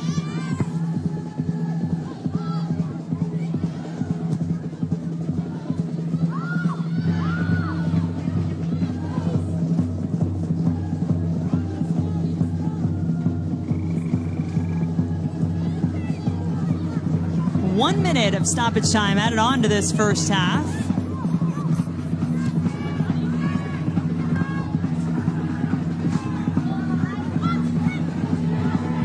Smith was making a run. Sullivan couldn't get there. Looks the other side instead for Lohman off her head.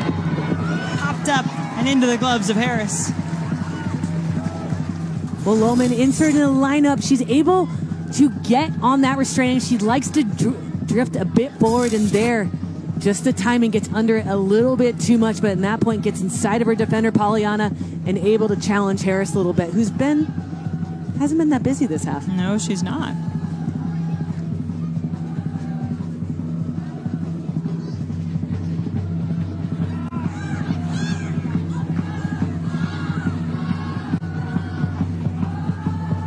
Lohman was going to give us the perfect lead in, find the equalizer there to her Part of the feature. Didn't quite go as planned for Washington as they still trail Orlando 1 nothing. Coming up next, it is the Ford halftime show. Down will take a look at the extraordinary journey of Washington Spirit midfielder Joanna Lohman. Kate and I will review our first half. That's Ford. Go further. Our score at the end of the first 45 minutes 1 nothing in favor of the visiting Orlando Pride.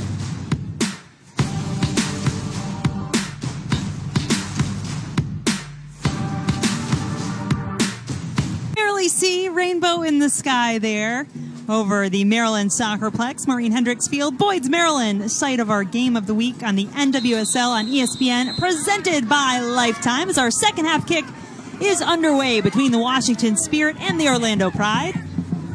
Jenn Hildreth, Kate Markgraf up in the booth, Dalen Cuff down on the sideline. And the rest of our terrific ESPN Lifetime crew.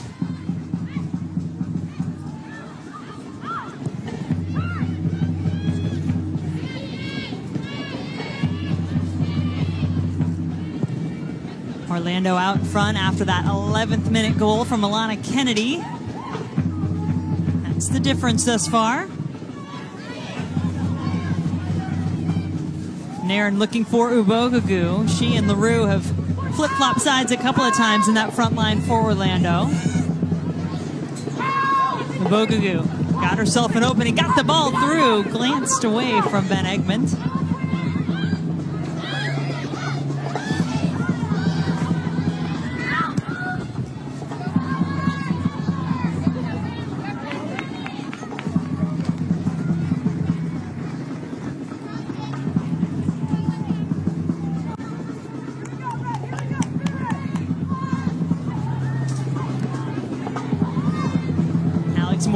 To Poliana. She'll now send it toward Van Egmond. Leroux, offside flag goes up. That'll give us a chance to check in with Dalen, who talked to both coaches. Dalen. Yeah, Jenn, we'll start with Jim Gabarra, Washington Spirit coach, saying that they want to be more aggressive, especially in the offensive end, be more aggressive and play with a better tempo. We thought they just took too many touches on the ball, more one-two touch, better tempo he wants to see in the second half. And from Tom Sermanni, he really liked their first half performance, thought they got great positions to score, but their decision-making in the final third was not great. He thinks they should have had at least one or two more goals. Need a better decision-making in the final third. Thank you, Dalen. Chance to see if Washington can indeed be aggressive. They have it taken away. I think you probably agree with those coaches' assessments. Kate, some of what we talked about with Washington taking advantage of opportunities, getting numbers, and Orlando did have a lot of chances, only one goal to show for it. Yeah, I think if they do play quicker, one and two touch for Washington, that will help them. But also just better angles of support, lap, cut out the square balls. Shot from Ordega off target. So this is the question of whether or not Leroux on that last attempt was offside, and she was not. It is from the moment that ball is kicked, and something that can part of a body that can be used to score a goal. And in that point, Leroux is not offside. And the sideline referee, the AR, just didn't get that one right. But that was a great picture of the back line of Washington. They are not a straight line. There are little zigzags here and there that allow this forwards from the Orlando Pride to sit in those pockets and be in dangerous positions without being offside.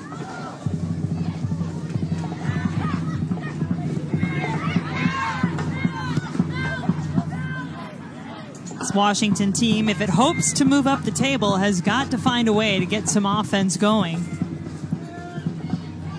Lohman, three days shy of her birthday, gets it over to Houston.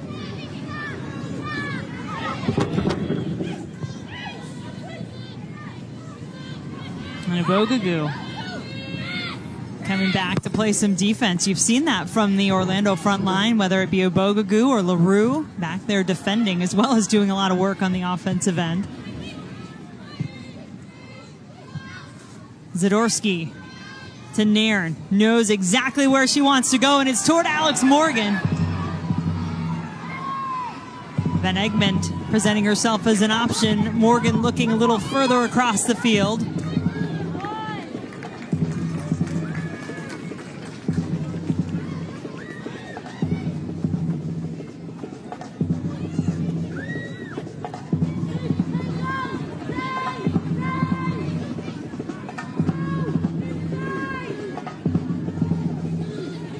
Huster. Poliana blocking the path of the ball toward Ordega.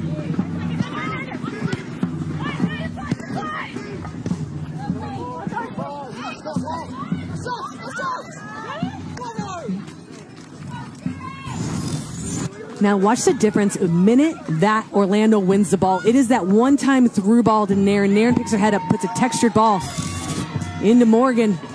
Perhaps a chance here, Kate, for Washington. Still with it on her foot. Takes a shot toward the far post. Shot or across. Had some good intention on that ball. And we're going end to end now, which is exciting to see if you're a Washington fan. You see Hatch on the half turn, able to quickly turn and spin Poliana and able to get something across. You can see the power at which she hits that too. Deep throw. Smith will come over to take.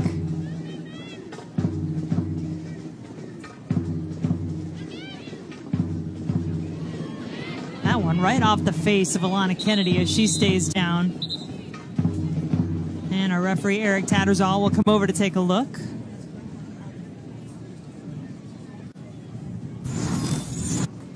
And a challenge between the two of them. Hatch trying to get involved. Kennedy just grabs her face instantaneously. Unintentional, but still smarts nonetheless.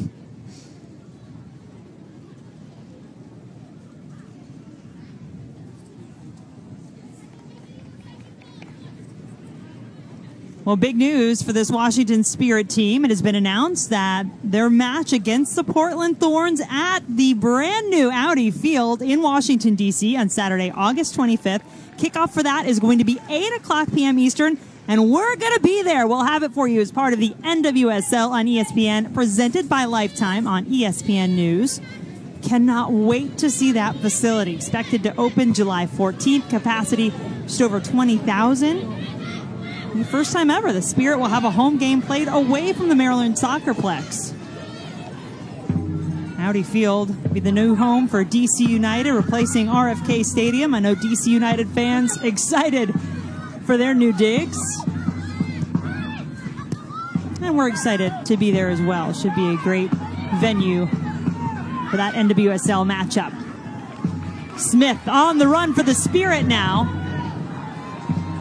Had a quick touch. Didn't work out. One runner for Orlando. It's. And Dydasco plays it back.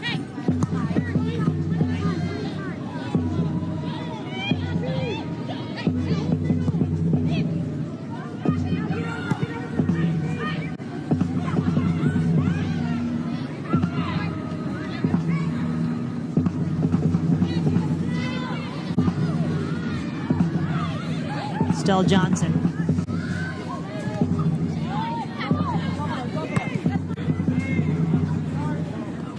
Ordega.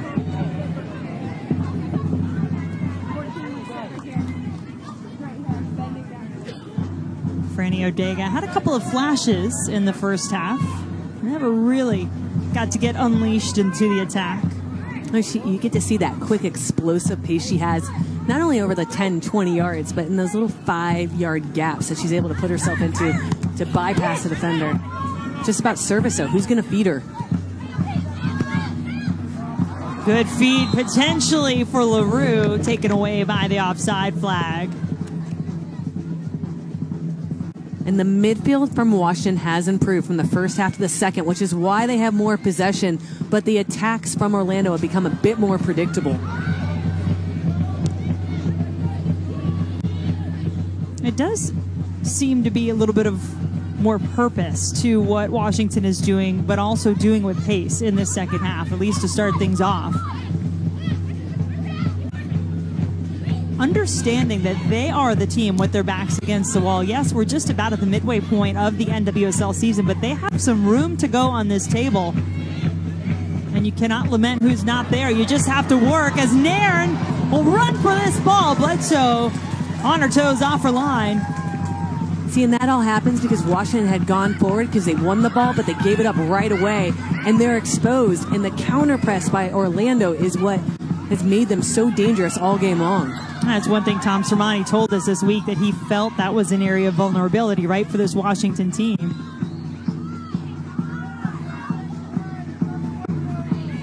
Free kick now coming for the Pride.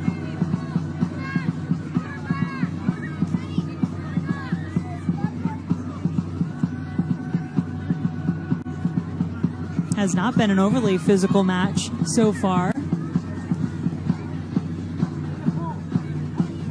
Seven total fouls conceded.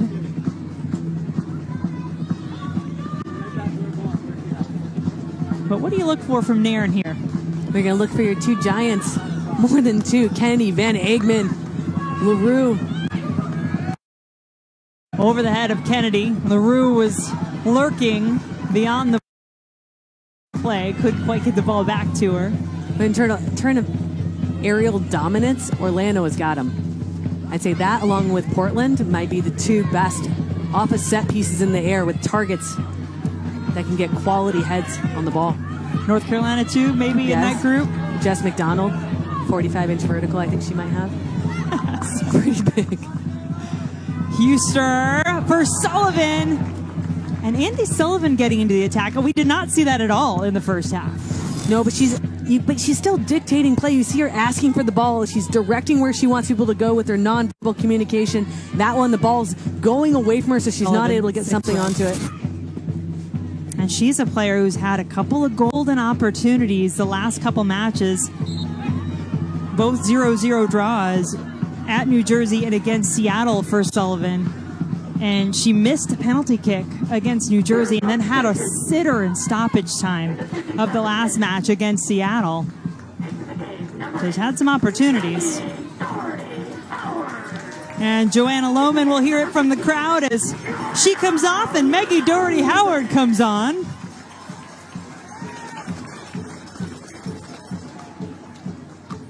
Two very different type of players here as Lohman we've talked about, such a fan favorite waves to her crowd. And Dougherty Howard onto the field. See if she can make a difference in that midfield for Washington.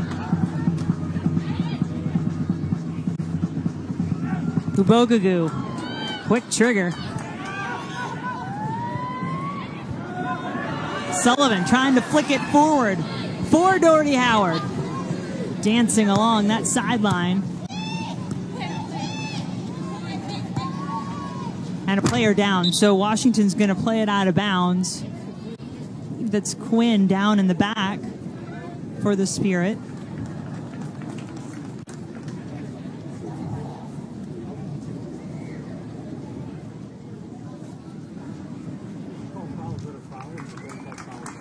And Quinn is playing almost in that defensive midfield role. She comes over to stop Ubogagu, who had traveled across the field. Looks like she gets her foot stepped on. Not intentionally. But if you're a Washington fan, you're happy to see her get up because they have just been riddled with injuries with so many of their key players. Pugh's on the bench, Lavelle's on the bench.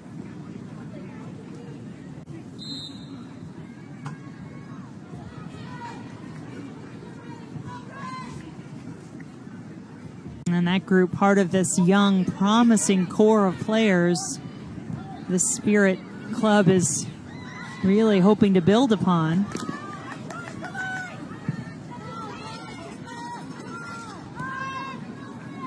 Nairn always looking up for options.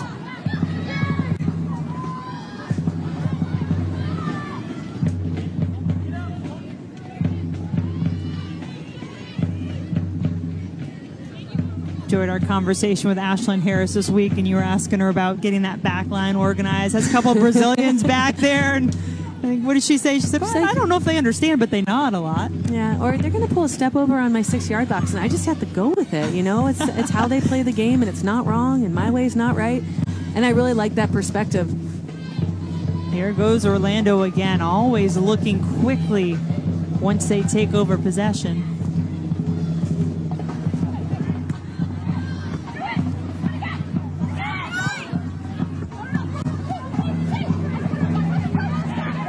Bogagu does well to get out of danger. But speaking of danger, Morgan, like she might have a chance to run onto that one. Again, they win the ball and they attack those seams and they hold on to the ball right after they win it. Smith trying to provide an option for Huster. I like that Sullivan's taking a more aggressive role, almost playing in that number 10 spot, playing that attacking center mid. She's a bit more mobile in this part. She's trying to find those gaps, reading off a church and everyone else where that service is going to go and can she get on that and be that second run that they were lacking in the first half.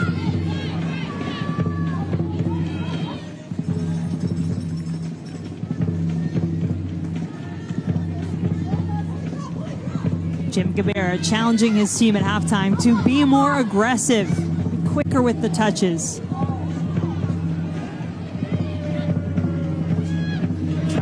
Their way into this attack and into this match. At the very least, they've done a better job of making Orlando a bit more uncomfortable in this second half. Morgan has Nairn making a run in the middle. Johnson and Morgan. Estelle Johnson goes to ground. That is a well-timed tackle from the veteran Morgan, one or two touches, trying to get a handle on it. And she's trying to do that long separating touch and just wait until she left, the ball left her foot, and Johnson goes to ground and clears it.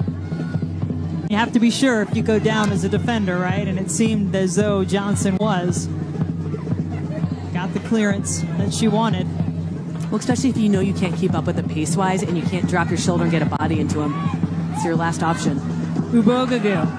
Poliana sends it across the goal. An unintentional touch from Smith allows Bledsoe to pick it up. Quinn, though, immediately under pressure from Kennedy. Back heel from Kennedy is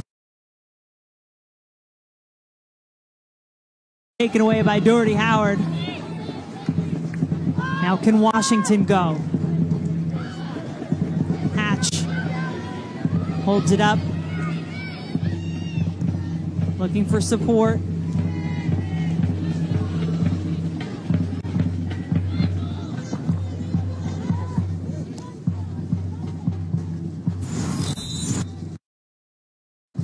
Bogu getting the defender to commit, bounces it out wide. And Smith thankfully did not get that much power. Behind that touch. Otherwise, that might have challenged Bledsoe. And Abogu comes out for Rachel Hill. A little bit of insertion of energy, but I have to say Abogu has been extremely dangerous this half.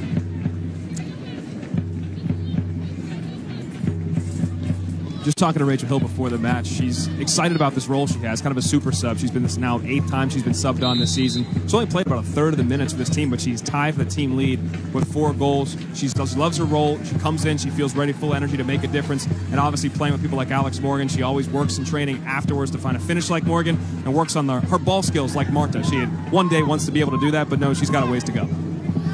She has been a great spark off the bench for this Orlando team this season.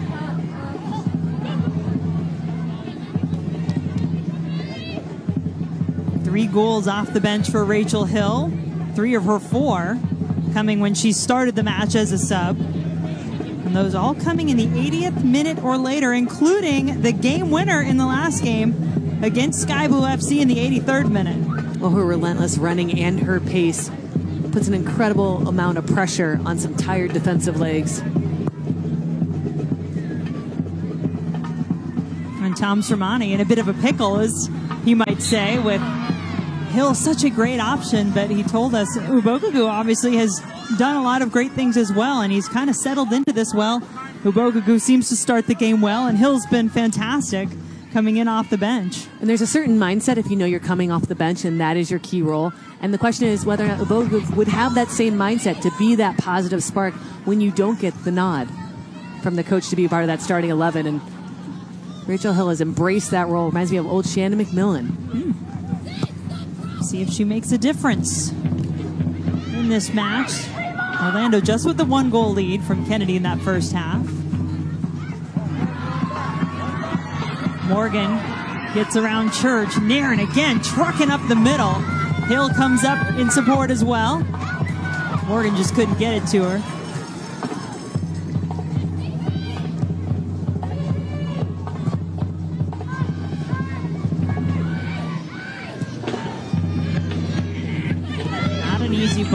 For Harris, but she handles it.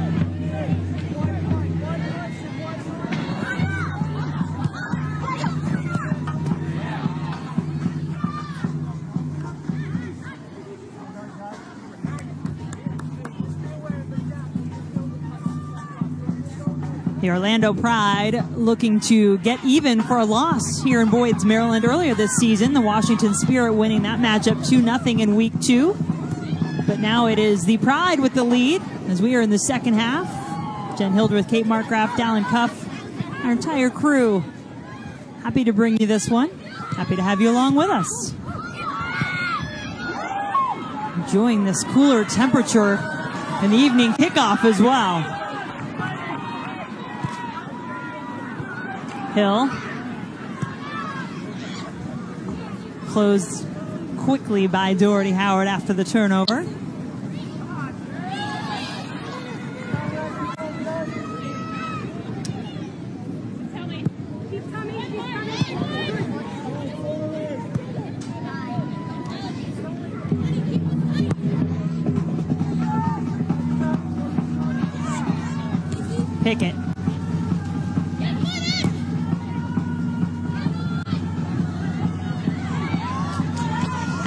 Get around Poliana. Quinn carrying it forward with Leroux in pursuit. Huster. Dougherty Howard to the outside. Smith, the shot, just a bit high. And the Washington midfield continues to grow in this second half and having now an offensive impact on the game. Quick ball by Huster. Well done by Meggie Dougherty Howard. Get involved layoff to Smith. Just I think it's her plant foot just a little bit too far away from her. The ball, which causes it to sail a little bit higher than it should, but there's barely any spin on it. Incredible amount of pace but well interplayed. A little bit of give and go in the midfield allows space to open up wide as Orlando players start to converge in to shut down the ball. Excellent speed of play from Washington there. Some of their best stuff in this match. And next Saturday, June 30th, the NWSL returns to Lifetime as we head down south to Orlando City Stadium as U.S. national team superstar Alex Morgan and this Orlando Pride team host McCall Zerboni and the first place North Carolina Courage, who have not lost on the road this season. Again, coverage begins next Saturday. Get ready, it's going to be hot. 3:30 p.m. Eastern Time, 12:30 Pacific. live on Lifetime. That promises to be a very interesting match as well. North Carolina has played so well all season long. They are dealing with a couple of injuries at the moment. No Abby Dahlkemper, no Sam Mewis for the Courage in their win today. Nairn, curling ball! McBride got ahead on it, but the flag would have negated that opportunity anyway. And a nice little textured ball again, trying to find Poliana, but started to run a bit too early. Washington does a good job of holding that line and not dropping until the last possible second.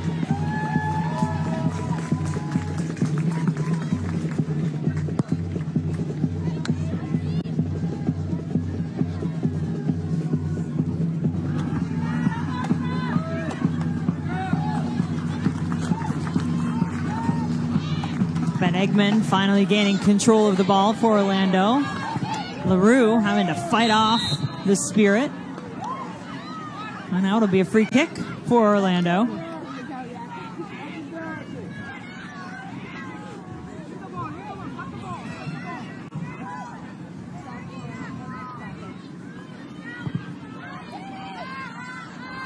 Pickett's going to let Poliana send this ball into dangerous territory. But in the end, not too difficult of a grab for Bledsoe.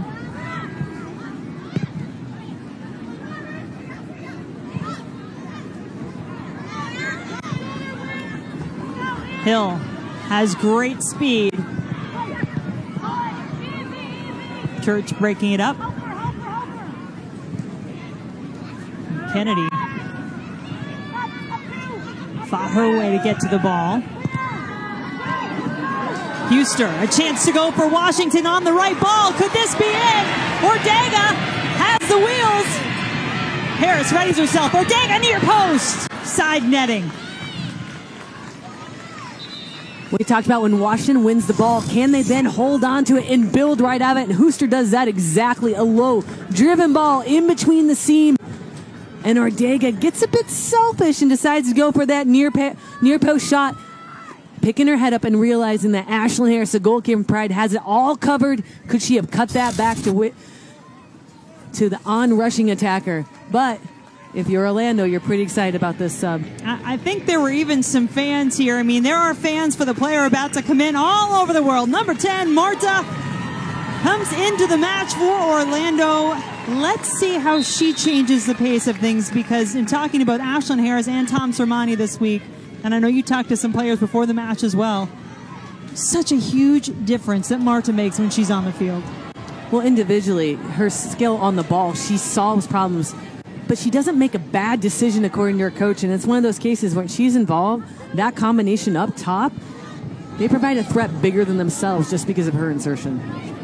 Marta did not train much this week, but obviously can make a difference here as she gets in much as she did in the last match against Sky Blue FC. But Washington's had some promising moments too. Axe trying to force one there. Harris maybe getting a little too bold. Ordega couldn't make her pay for it.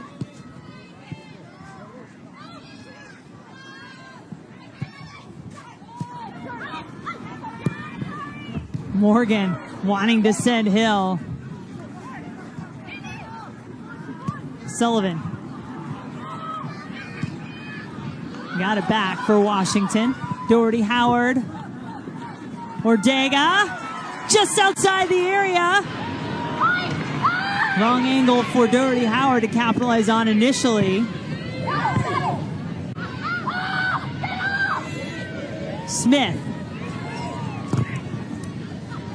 Staying with it. Nairn not cleared yet.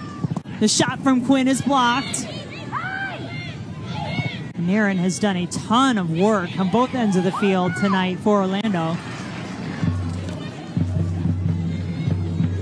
And as dangerous as this Orlando attack can be, we haven't seen a lot of great things from them, especially in the second half.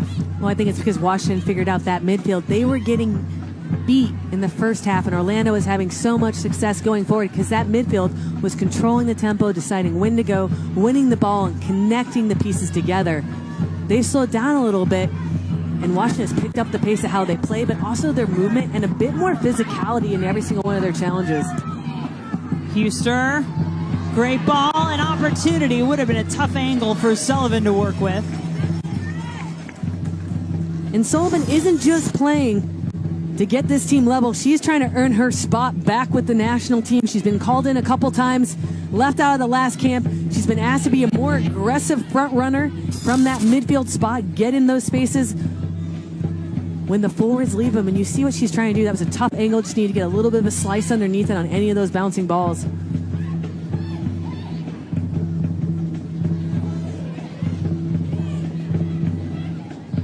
Church.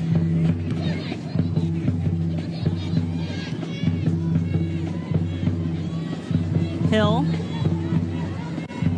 pushes that ball out in front of her, has fresh legs off the bench, as does Marta. Her first real involvement in this match. Doesn't see anything she likes initially.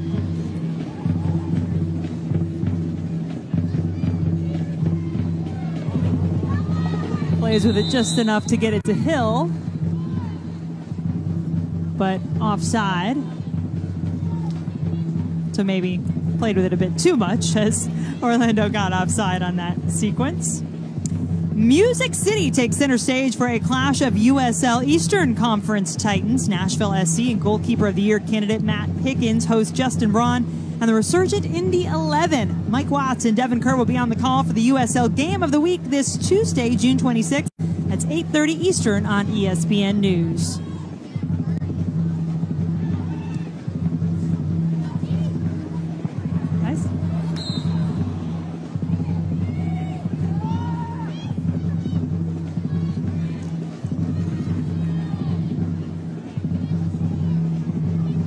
15 minutes remaining in this one to see if Washington can make a dent in that scoreboard, something they have not been able to do the last three matches.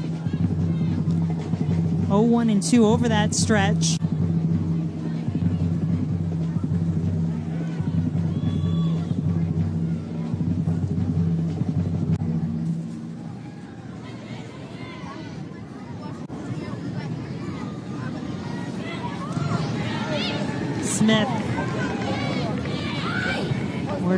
Trying to get around Zadorsky. Here comes Sullivan. Has Hatch breaking to the outside. She'll use Dydasco. Dydasco takes the shot. Not the result Washington was hoping for in that opportunity.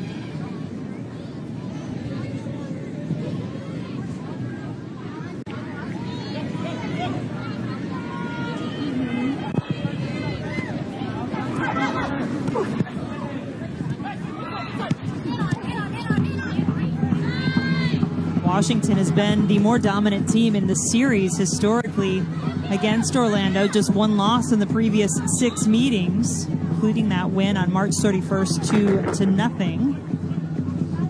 And by the way, the goals in that match did not come for Washington until the 80th minute. Mallory Pugh breaking through and then Ashley Hatch in the 88th, 2 nothing the final.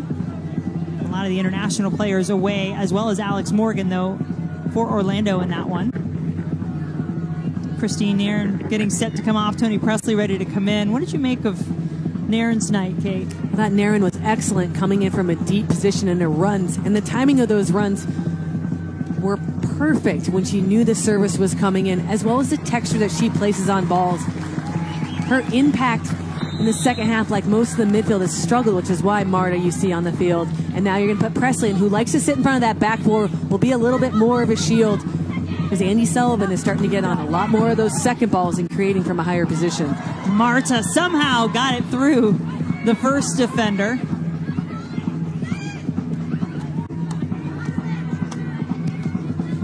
Leroux curling around to come back to the ball. Finds Marta. Five-time FIFA World Player of the Year. Gets it across, but taken away. She'll get it back, or not, and shows her frustration. High level of expectation both for herself and for her teammates, Marta.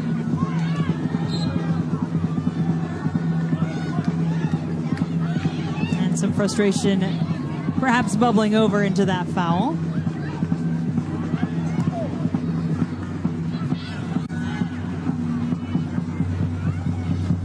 Much to be done with that ball from Quinn.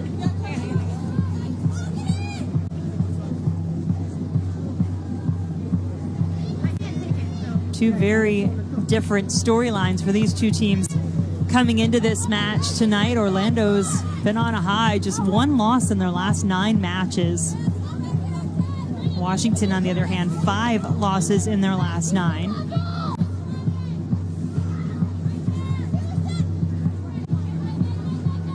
Plenty of opportunities to see this Orlando Pride team over the next few weeks. Made a great run last season in the second half of the season as Marta and Alex Morgan really started to find their connection. And this team unbeaten over the last two seasons when either Marta or Alex Morgan score. Well, I'm excited for the Washington Spirit team when Pugh comes back and Lavelle. Yeah. You just imagine that attacking core. Question is, can they stay within striking distance of that top four until that time? Ordega. Her shot is wide. Let's catch up on last night's match between Portland and Houston. Tobin Heath, great to see her in the starting 11 for the Thorns, and she scored early. That was the ninth minute. And then Sofia Huerta. Well, hello, welcome to Houston. She had a goal in the 12th. Anna Crnogorčević got that header just barely into the goal, and then just topping things off, Christine Sinclair, her 100th NWSL appearance, scored her seventh goal of the season. She leads all scorers in the NWSL this season. Portland getting the victory 3 to 1 on the road.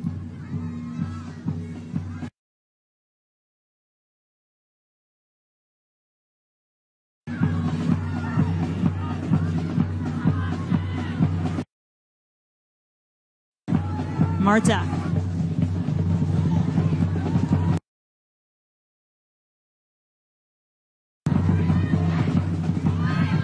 Quinn.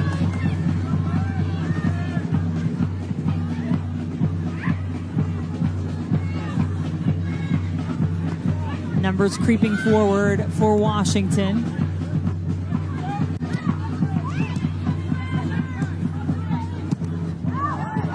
Hatch couldn't keep it in.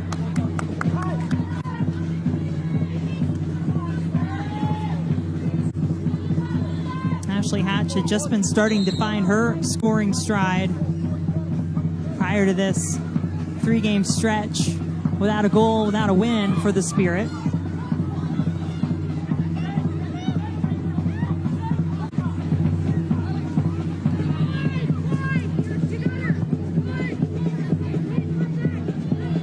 Dougherty Howard. Zadorsky taps it out.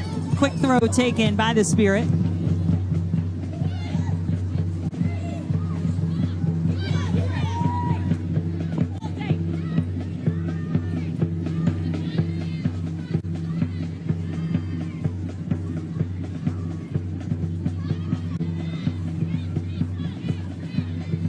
Into the 82nd minute now we go.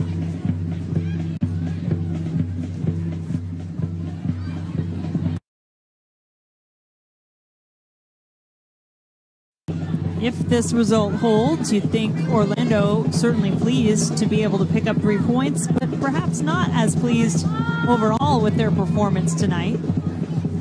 It was really, I'm not going to say a fluke goal because I'm going to credit Alanna Kennedy heads up play, but a deep shot. I mean, it certainly wasn't one of those that you would rely upon to try to set up very often as she took as she took the ball.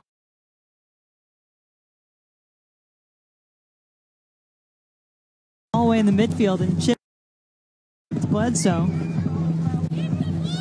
No, it didn't come from a pattern of play, right? right? Where they're trying to expose the weaknesses and the vulnerabilities in this Washington team. If you're watching if the score stands. You got to be happy with how you bounce back performance wise in the second half. But can they be a bit more dangerous in the final third?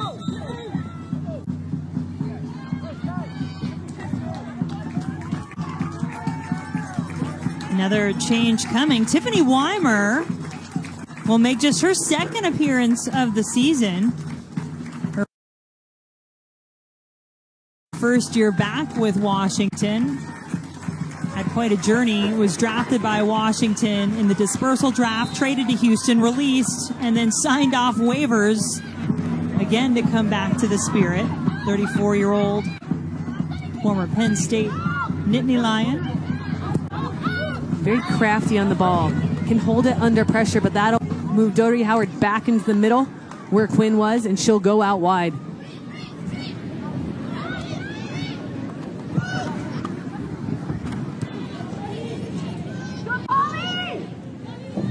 Dydasco will hustle up to take the throw.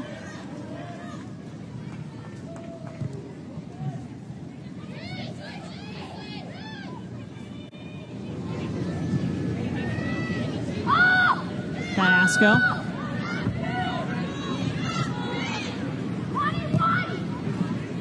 Church gets it over to Weimer.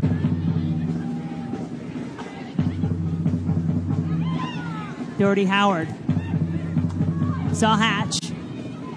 Now Dydasco. She'll take the shot. Harris has to lay out to keep it out of the back of the net.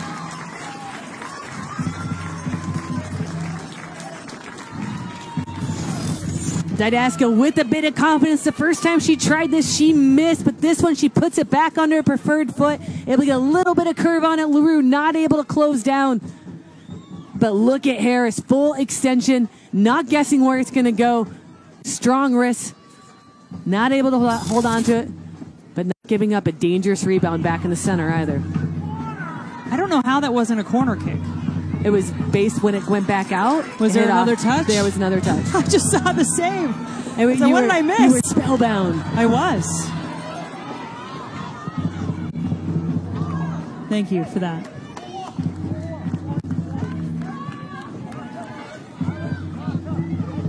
Tom Sermanni. A little direction to his team, trying to see this one out. Hang on for the three points on the road.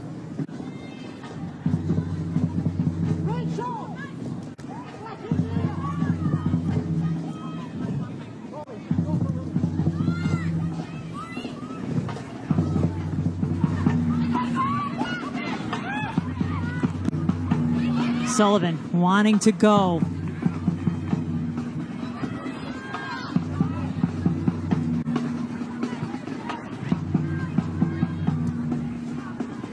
Just quickly on the bench here, Tom Sermanni trying to change the shape of the team, wants them in a 4 4 1 1. Morgan and Marta up top. He's trying to get Rachel Hill and Sydney Leroux to kind of tuck in more as, as midfielders, trying to create, relay the message across the field. I'm not sure it's got to Rachel yet. Thanks, Dalen. because they're trying to prevent that ball right there, that little seam ball to Weimer, because they're having success creating in front of the back line of Orlando and then dumping it out wide looking for service or at least buying enough time to get more numbers forward, which created that Dydasco shot on the last one. So defensive play trying to seal the victory in the waning moments of the game.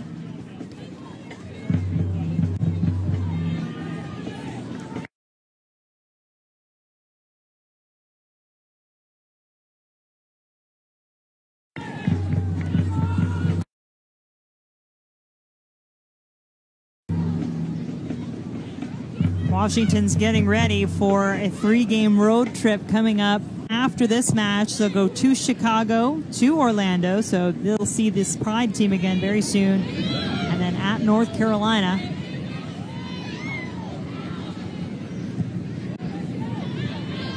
Have not been able to take advantage of being at home, though, this time around, at least not yet. Poliana's ball headed out of bounds. Copy.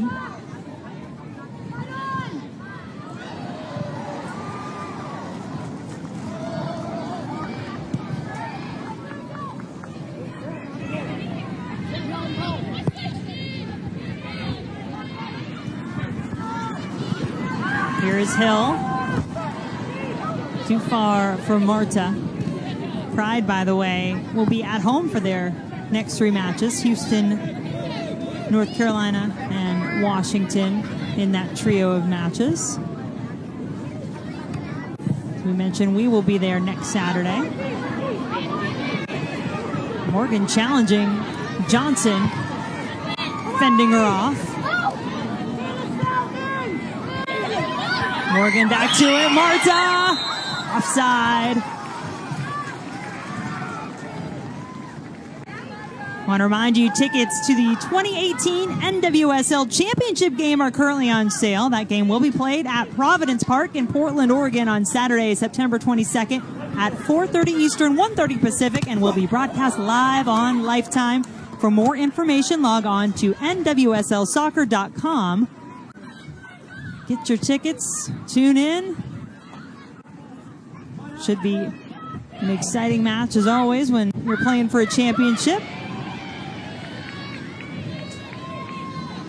Thorns trying to fight for a chance to be playing on their home field. Pick up their win, as we told you last night at Houston. That improved them to 19 points on the season, tying them for second place at the moment with Seattle and this Orlando Pride team. Orlando would break that deadlock if they can get the three points on the road here tonight.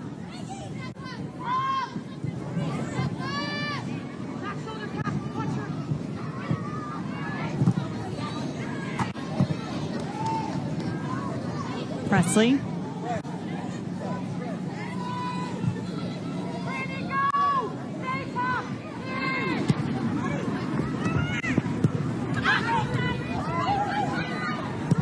Leroux to. To play a bit of keep away here if you're Orlando.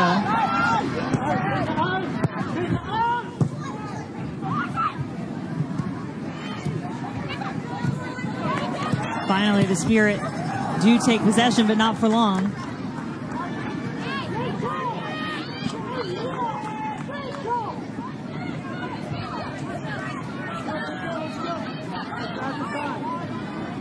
Marta coming to get it.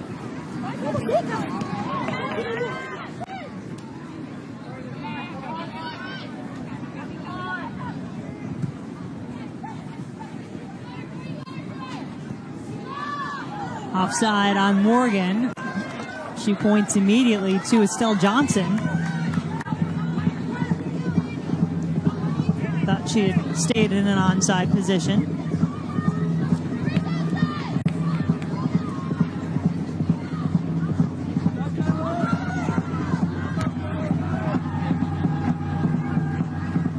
Sullivan maybe thinking Smith was a little closer than she was that time.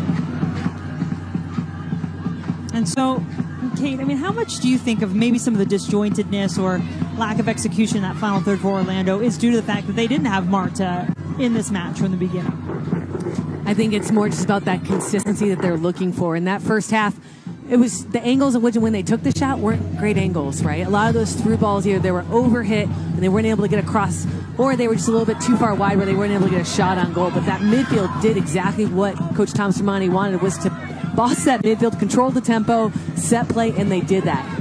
But they didn't make adjustments in the second half when Washington realized they're A, they were playing too slow, did not have enough of a physical presence, and were too spread out in that midfield, and they started to take over. So it was fun to watch Washington adapt, and you can see bits and pieces, but both teams are seeking that continuity of consistency for longer stretches of time. But I thought Orlando had it for 45, and I think in bits and pieces, Washington's starting to figure it out. Certainly an improved performance by the Spirit in the second half. Most would agree, just nothing to show for it on the scoreboard.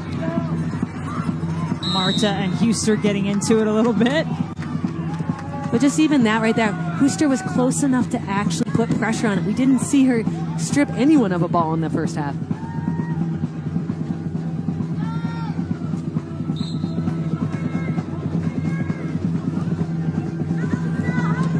Pressley brought down nicely by Leroux. Sydney Leroux, why not? Take a chance. Get in the area. No foul called, though. Maybe Pressley was just trying to send it to the corner to take some time off the clock, but Leroux, the way she brought that ball down, gave herself a nice angle to work with. and totally, totally just beat Dydasco, able to get something on it. And then she gets selfish, as she should, and Marta's like, it's okay, I would do the same thing, just unable to get the shot off with a bit of a heavy touch. You can see her explosiveness. Offside. But then an awkward restart for Washington. Four minutes of stoppage time that we're already into here. About halfway through.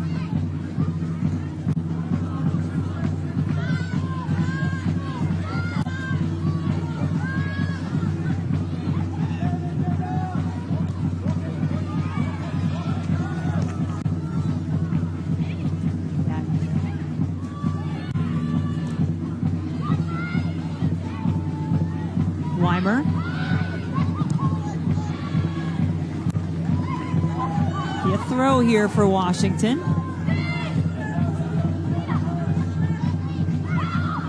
This league no stranger to late drama. Last week, North Carolina Courage suffered their first loss of the season. Utah Royals FC had a goal in stoppage time. That challenge is going to be a yellow card for Dougherty Howard as Morgan took the worst of it. Last minute, Dougherty Howard coming in hard and poorly timed. Trying to get something on it, a little bit of a leg, but it's more her angle at which she does it, right?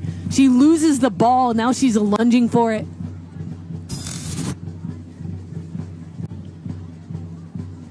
Had to go right through Morgan to get to it, and Alex Morgan, such an important piece. You mentioned it earlier, both for this Orlando Pride team and the U.S. women's national team. Not going to be happy with that challenge from Dougherty Howard.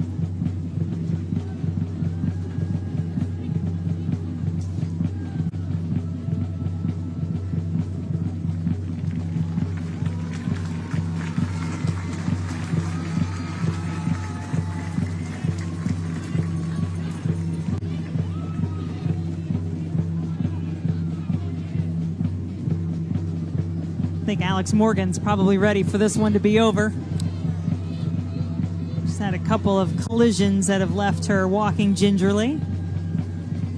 She plays hard. That's you know, there's a lot of forwards out there that don't want to get into physical challenges, and that's not she's not one of them. Which makes her so dangerous. You just hope those physical challenges actually come a little bit higher up the field, where if she does get on the ball, then she'll put something away, and not in a tackle like that. When she's doing the right thing to lunge in, Dougherty Howard took a long touch and just was a last ditch slide tackle that got too much of the player. But that's also what makes her so good. Sullivan trying desperately to get to that ball. And Pressley's just going to send it down to the other end of the field and say, Come on, referee, blow that whistle. Extra time added on due to the Morgan injury beyond our four minutes. But we should be hearing that whistle shortly.